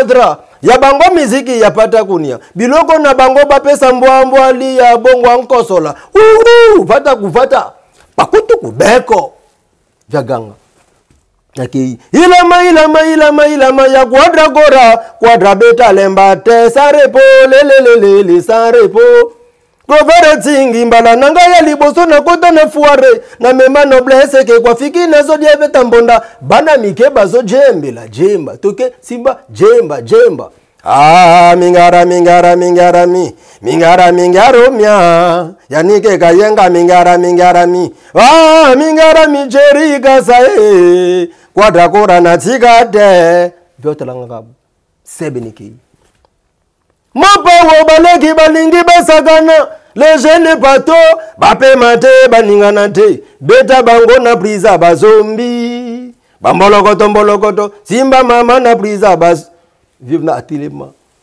pesanga mbote devant kanza mpo ngai alobaka natyaka bapreuve na babetanga pesanga mbote azanga oza mobali générique oyo obeti ekota na album ya omoni na album asindi toseki tova ngai na equaliser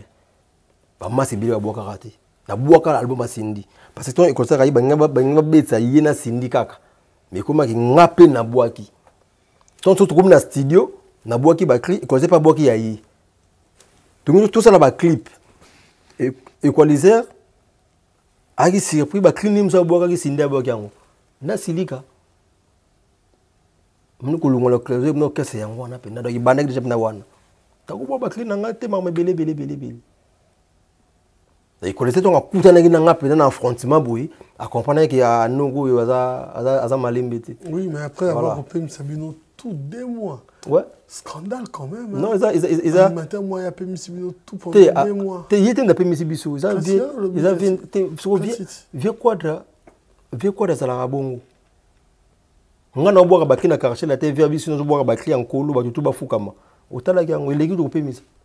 naoloba makambo oyo mpona omena ba verité natindelaki ba image wana ke naombwaka bacri bato tu baza ya kofukama esalama te mpo alakisa nga ke alingi nga oyi soki ozobwaka bino banima te fo ofukamaka nga ntango mosusu ndenge nakokoka mpo ofukama te na niveau wana me badi video wana ozofukama toganga ozo comprendre ya ndenge mouvement eza te ke soki opemi banini voilà eza nango normal eh. naki normal namoni kaka move ezalaka bongo bo ezalaka nango bongo fali ipupa kuta atikala na kisasa baye poto ozalaki te nazalaki te mpe histoire nayebi loba makambo oyo yo ozali opesa eh, omona quartier latin le seul motu oyo azangaka répétition te le seul motu oyo azangaka concert te le seul motu oyo euh, euh, voyage namonaka ata te ezalaka asindi leke bato tu etikali wana seri na ngai banda ya kotikala ata oza nani donc mpo na koparticipe na concert to euh, texto il faut ozwa texto soki ozwi te koya te ekwala yebisaka nga ke ngai nakoki quartier latin boye na kozanga texto te me mokolo azangaka texto nayebisi papa nde nina ndula eza te te nazwi texto te nayeso nayebisi nayebisaka yo nabe o quartier latin nayebisaka bayambo mpenza na miliki suka nango lipa pene ezanga manteka na mai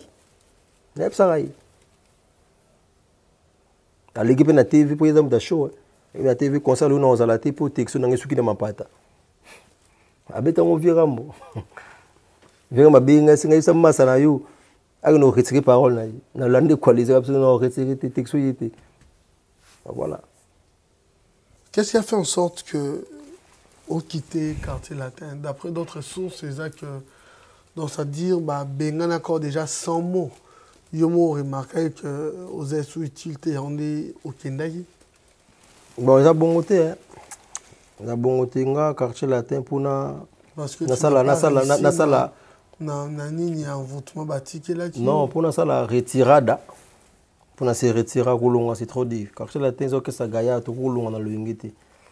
mpo na sala retira da vie rambo abingisi biso banimateur abiki wana azwi kuta animateur mo mani yango mikolo mikolo mikolo na ye na ye kaka mani yango kaka mais ayebisi nga trésor na na confiance na yo fo yelanga générique osala générique oya na générique tosali générique bato tu basali nga générique oyo nga nasala envoutiment wana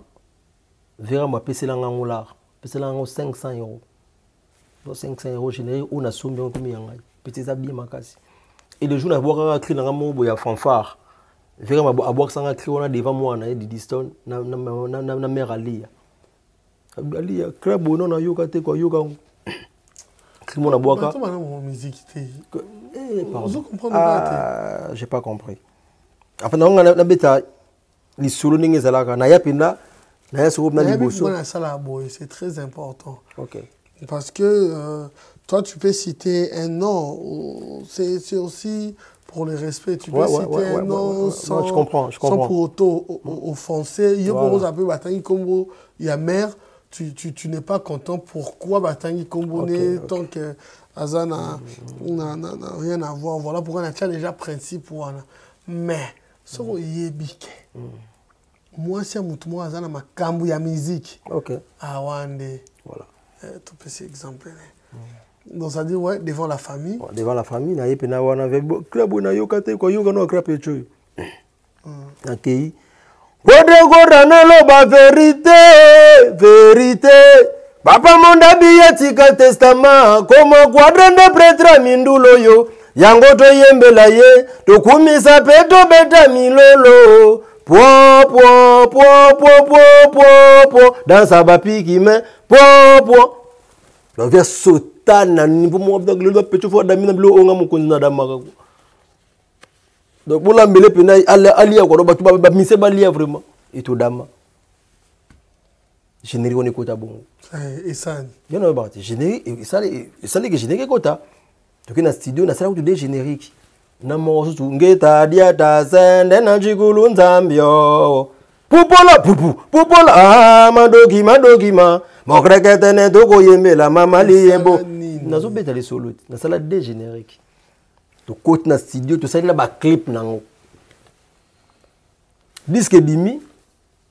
vieux quadra azalaki mpe na générique na ye moko ekoti te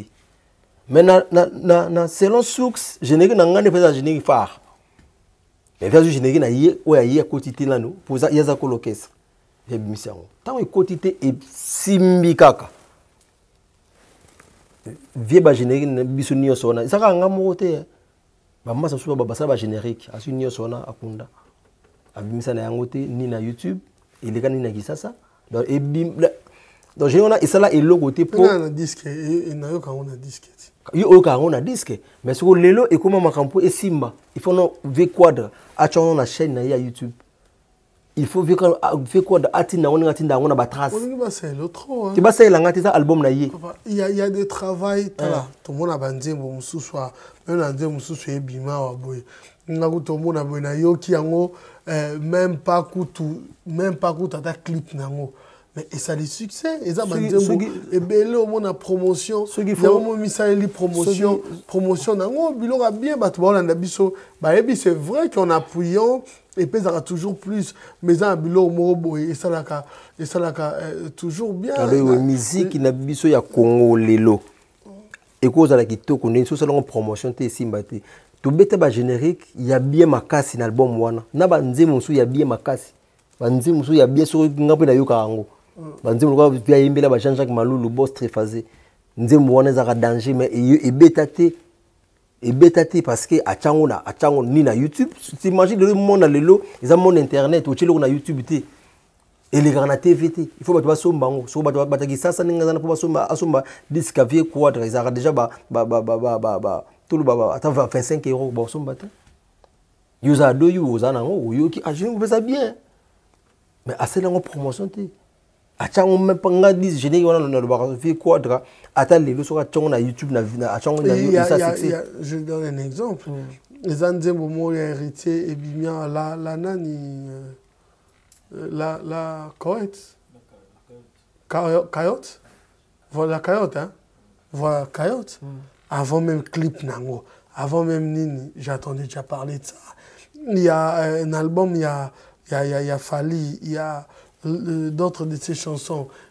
clip et l'image même pas euh, j'attends déjà parler de ça alors que même un nzembo uta sala les promotion mais un nzembo musu peut-être beti même koleka nzembo ya ya ya ya promotion donc nzembo yango mo emiteki yo atikeli au générique omoni générique wana même na YouTube pour mutayoka ngo ils allaient rater problème eza yango wana eza te ke batie déjà club ebimi te du moins batiaka quand même na youtube ezo bato bazoyoka mais vie asala yango eza en fait album wana nayebaka te mpo ani vie apusa yango te eza kaka générique wana te eza na banzembo mosusu baomba bayemba te baomba bayemba bamai ya se bayemba bavoka na bango eyebana te mpo nzembo bayembaki batyango nulle part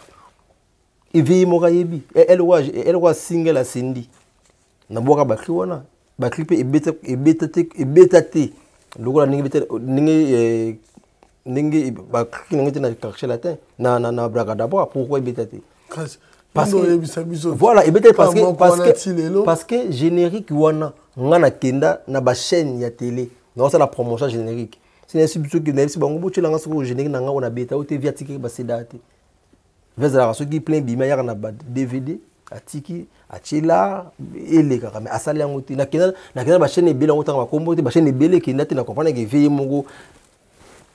abendi frein ngai nakosala nini donc oye oleki mpe babiso bwapo oleka na tv na quartier latin oui parfois nakoma koleka na ndenge ya kiteti mais euh, il faut ozwa mwa accord kevi na oleka mwa émission banini mwa cd dvd mpo osala nini wana choix te donc na comprenaki déjà que avie euh, ye moko akomi na sentiment akomi na sentiment ya, ya animation quoi donc, voilà je vais en profiter pour dire euh, merci à Babi Mbibos Lumière de Birmingham Lolo je cœur de Mimi euh, Milolo merci infiniment hein, à celui qui est le play le multi le big beau boss, Dédé euh, Samba. Merci infiniment à l'évêque exaucé Lungu, l'hierarchie suprême. Merci beaucoup à celui qu'on a qu'à dire son nom pour avoir le code de ce beau pays la République démocratique du Congo 00243 Willy euh, Moucheni. Merci à Djonga euh, Okula, Carlos Osvaldo, un patron, Yadien Okamba. Merci à toi, la joie Amado Pichuna. Merci euh, infiniment à toi. Merci également à Maître Flash. Reposer autant.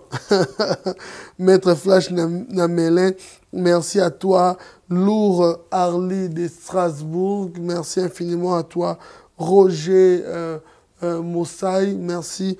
aussi à toi, les bourgeois. Hein, merci. Nabandeko Nyonso Bolandarabiso, merci infiniment à sa grandeur spirituelle, le prophète Condé Polo euh, Dominique, ainsi que la grande dame qui l'accompagne toujours du femme, euh, de Valère Maman Safala Marceline. Voilà, une manière pour nous de, bien te recevoir. Juste après, on a compris que euh, lelo tolobela maintenant tolobela soko promotion na yo tu ne fais plus partie ya, ya quartier ouais, latin ouais, ouais, ouais. ça fait combien de temps déjà ça fait euh, trois ans trois ans ouais. adoyo na kati yo maloba te nga na ngai na fait comprendre mwa bato ouais. odoki nga mwa trop par rapport ya bacri trésor ozowela cri na dvd adoyo nga na banda kobinisa kisasa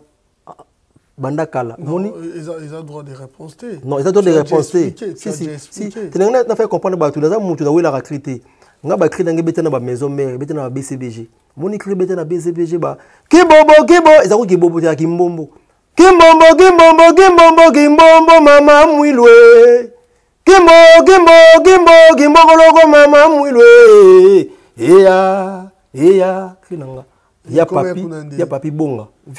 Ekomi kuna mais toza bana nkingiki soki mpe nanga jimi mbonda moto azoki yango epa na biso mpo eza cri oyo tobula yango na ya papi bonga ekenda kuna omoni cri oyo bili mosusu cri oyo wana janta cri mosusu bila bwaka ya betukanda lokeba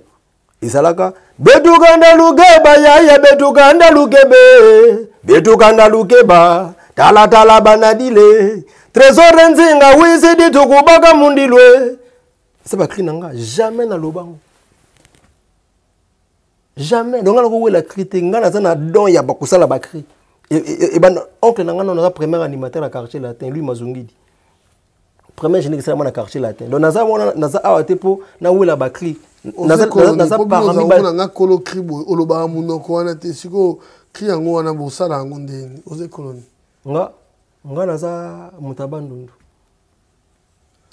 nakana obwaka monoko na bino mare na nga aza mozombo doki mbombo nde eza na kizombo moni betu kanda lukeba eza pota oyo nazoka eza ya monoko nini eza na kikongo un animateur foza na recherche otuna ngai nasala bacrime mosusu ntango nabwaka nabwaki epavenanga blaise bula miya madra ye miya vevandeto miya madra eza naki italien te naza italien te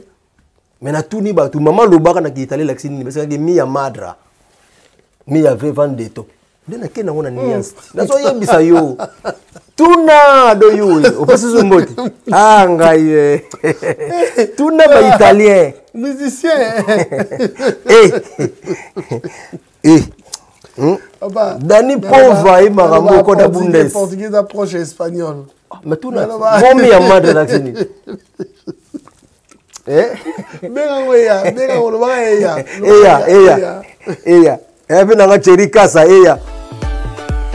La maison Stelman vous propose des prestations de qualité pour vos gâteaux de mariage, anniversaire ou autres événements. La maison Stelmag vous propose aussi des gâteaux personnalisés pour vos anniversaires ou autres. Contactez-nous au 06 63 30 36 83 ou encore au 07 81 83 15 74. Vous pouvez aussi nous contacter sur la page Facebook Hostelmatch.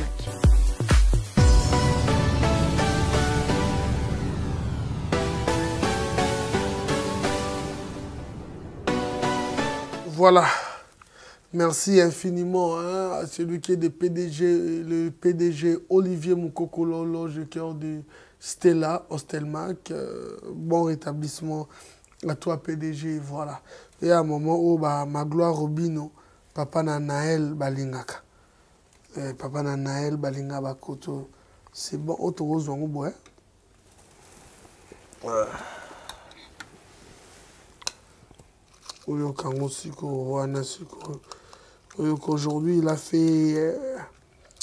un... hmm.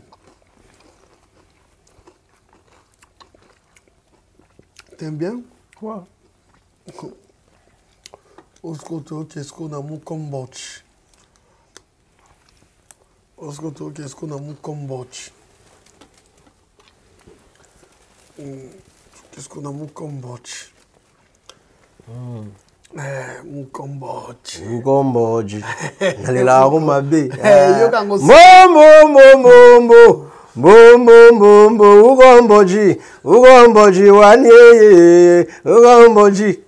ah naza na bacri boye oyomba 18 cri cici ya doyo ya biso hmm.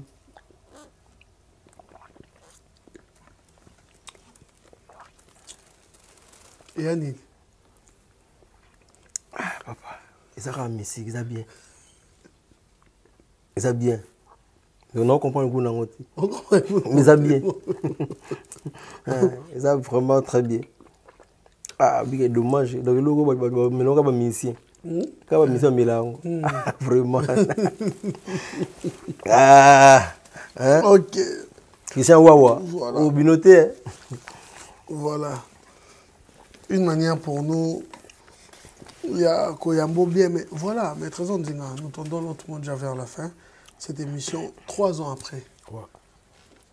osali nini nasalaki entame carrière solo ouais nasala carrière solo nasalaki générique moko reconnaissance bakado mhm. nasalaki mwa euh, acoustique mais reconnaissance bakado euh, acoustique oui acoustique oyo nakolobela pas tellement promotion nango parce que ezalaki na moment baconfinement voilà. mais c'était quelque chose vraiment de bien merci mm, euh, je te félicite déjà mpona félicitation mpona concept wana acoustique ouais, en tant qu'animateur c'était bien mais générique wana osalaki nde promotion no ouais promotion nango ezalaki mpenza makasi te parce que euh, na comprenaki système de jeu te ce qui est vrai mais cette fois-ci mhm. biloko ya bienzo ya bato bakosepela bato vraiment bakosepela en fait déjà, déjà Déjà eh, eza bon eza nakoloba single yaka moko me naloba eh, maxi single ya 4 titre eya na de nzembo na de générique donc nzembo nayembela mpe nanga glifutela liyebo moko nayembeli eh, we ngai nayembi oyo nayembela bijou mateta mais transopone botikala mpe na sti mais to perdre mpe ya référence na bino elo ndongo esali ekozala te koto na comprendre te hmm. est ce que eza euh, oyo tobengaka na ndenge ya lingala hmm. kilokoso kaka poni ezala te ke obengi mpe chanteur moko boye ayembi yo otikali biso kaka na style animation nzembo oyo nzembo oyo nayembeli vie na nga bijou mateta eza nzembo oyo deplique nayembi yango na deplique nasangisi quand même nzembo gemoros bayembi quand même nzembo eri tuti bayembi oui, pourquoi yo oyembi en fait ngai nayembi parce que ntango nazopesa bango mélodie ya nzembo j'aimerais oza zanga maîtresse or tu peux chanter hein. biso tozali tokoencadre yo ebandaka boye eza te ke nayembi ndenge balide mosusu bayemba koyembi nzembo mobimba yo moko mbala moko te nasali ngo enfin ngai naza na baparti bato bayembi nzembo eza bachanteur ya lokola na animation chanteur abwaka elu mwa moki donc voilà en tout cas eza bien eza bien euh, naosala baclip nango kala te ntango ebima donc ezala vraiment eloko ya bien e générique nabwaki na bapeti na ngai kisasa napesi mbote peti na ngai china rambo euh, peti na ngai dinosaure mike fly directeur achine fumu encadre bapeti bani babwaki na générique na ngai bafuti bango combien kofuta bango mhm. bon na studio ntango babwakaki bien napesaki bango 100 dollar bango misato nasi bozwa 100 bokabola wana na kofuta te mais mpo nasepelaki parce que mpo na ngai bapesha babwaki bien koleka nga mpo na ngai bongo travail oyo basaleli ofuti bango combien bazala nano diske ebima ti ti diske ebimi tomoni ke resete ke bien bakozwanaaorchestre nada na orchestre ça fait combien euh, ça fait euh, une année demi bapeti bapeti bazo répété na ndenge ya kisasa bazo répété na ndenge ya kisasa kofuta bango nanu te eh, nayebisi bango ke eza verité ti nafuta bango te me bazwaka balaka transport na bango nayebisi bango tozala na esprit ya winga kala soki esimbi tokei winga kala eza mabe ntango esimba bato bakenda eh, bato ya se retrouva na ndenge individuel eh, mpa na ndenge euh, euh. Euh, ya nini eloko boreproche peut-être nga bino na cadre mona omona meme bakulute na bino comme si bango bazalaka ya mo bien aujourd'hui bino bolinga trop bos'enrichir plus euh, euh, personnellement bino malgré bango mpe bazali na système wana mais il pensait même un tout petit peu na bino mais bino système na bino eza difficile lelo osali orchestre comment vive euh, Mais bandeko wana, pourquoi ne pas attendre un bon moment osali kaka voilà bon ngai orchestre nasali eza, eza, eza, eza, eza idée mingi mingi ya bapeti na ngai nde ya kisasa biso ngai vie biso toza so patient okay. to répéter tinda biso instrument kipaka transport na biso namonaki badanseuse na ngai bape na ngai waze kua de danseuse na ngai babenga lide kuna bize bokende orchestre ave waze eza monene koleka ya biso donc iderange nga te donc ngai eza lokola bamoni ngai na mwana kimbangu eh, na ngai nabotami na ngiringiri mai nakoli na kimbangu sikoyo batelema baanimateur baza telema ebele na baquartier wana bamosusu bakoma kotika animation kosa makambo mosusu sikoyo naomona ndenge ngoto na kimbangu ezo perdre bavaleur moko boye mais na orchestre na ngai baza na osala bacri na bango baza leze en tout cas eza teke nao force bango quoi euh, nakoloba n'importe quoi te nazwa na ota nasala baclip ezala bien après toza na biso orchestre nano na kombo te voilà okay. Voilà, en regardant cette caméra, Okoye Bisa Bandeko Batali Biso, eh, Nini, message Nini, eh, Ozanango, Zoko Pesa Biso, eh, si tu as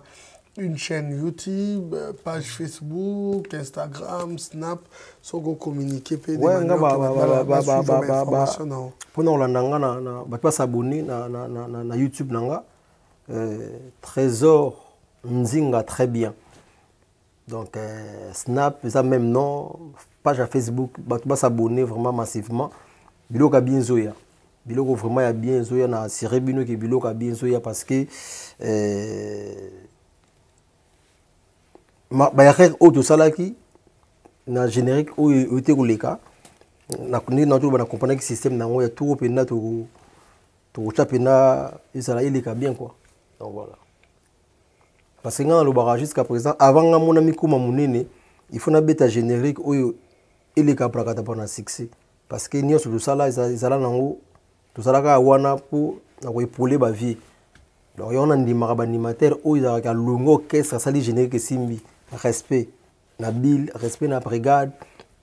respect na celeo respect na bachanteur oyo baka balongo na orchestre basali eloko esimbi donc respect na badeplic ba bawata ba, ba, ba, ba respect na bafabricas barobinio ba parce que eza facile te nde tokana bokesa bato toyaka obwaki oki olali ye eh. soko ya yo moko fo obimisa mpenza lokwa ngai na komi na moma wana te na niveau wana te yango donc naosala mpona effort makambo ene ya donc voilà e na baprofite mpe kopesa mbote na patou patou mazingu motu na ngai donc eh, olga baby bambote trop esika ozali eh, patike basha vi na ngai martin kusangila mokonzi ya mboka eh, mokonzi ya mfinda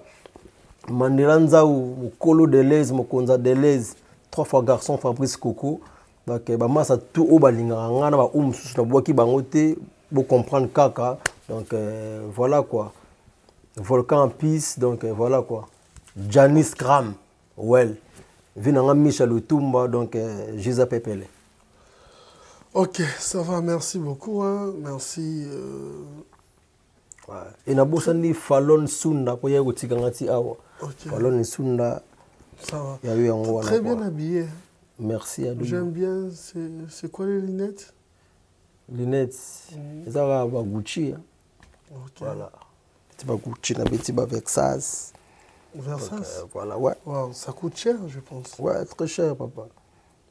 nayebaki na yo émission na yo ti ah, nayebaki na yo émission adoyi boye eza émission moko boye eh, na ndenge ya kose vante te mais eza numéro 1 mpo na nga merci beaucoup c'est voilà gentil monsieur talamaka et talamaka na ningi moko donc na baki na oya wana ti na lata manga manga et on late lo nyamutu te eh, eh, eh, voilà quoi mm. voilà et pantalon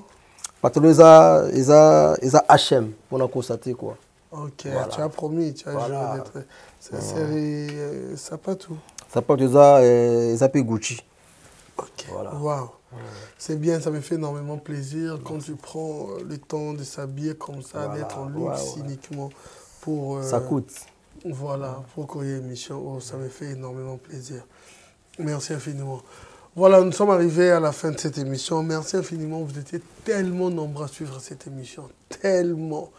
tellement. Ça me fait énormément plaisir parce que cette émission de c'est vraiment, il y a, y, a, diversité dans il y a, ya, ya, ya emission oyo bopesa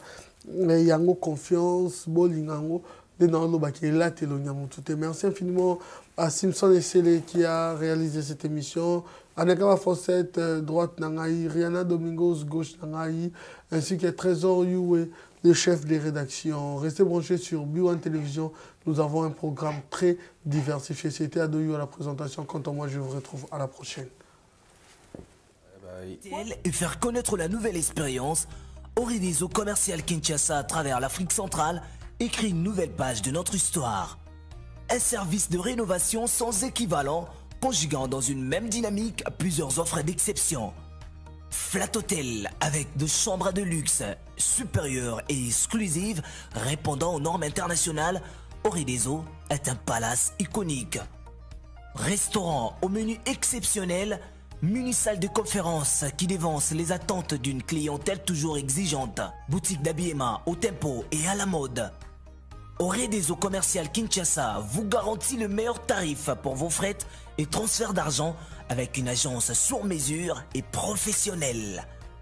Aussi, pour vos frettes maritimes Paris-Kinshasa, au eaux c'est aussi le commerce général. Vous voulez savourer l'ambiance de la capitale Kinshasa Pas de panique, au eaux met à votre disposition un transport permanent de l'aéroport de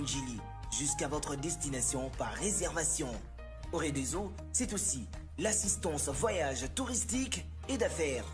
des Eaux est à Kinshasa sur l'avenue d'Ibaya Awitz, quartier Matongue, dans la commune de Kalamu, derrière la maison de la Bible. Pour tout contact à Kinshasa, plus 243 99 83 253 26 81 97 38 612 à Angola plus 244 92 34 14 471 à Paris plus 33 75 128 21 63. Réseau commercial Kinshasa, toujours avec...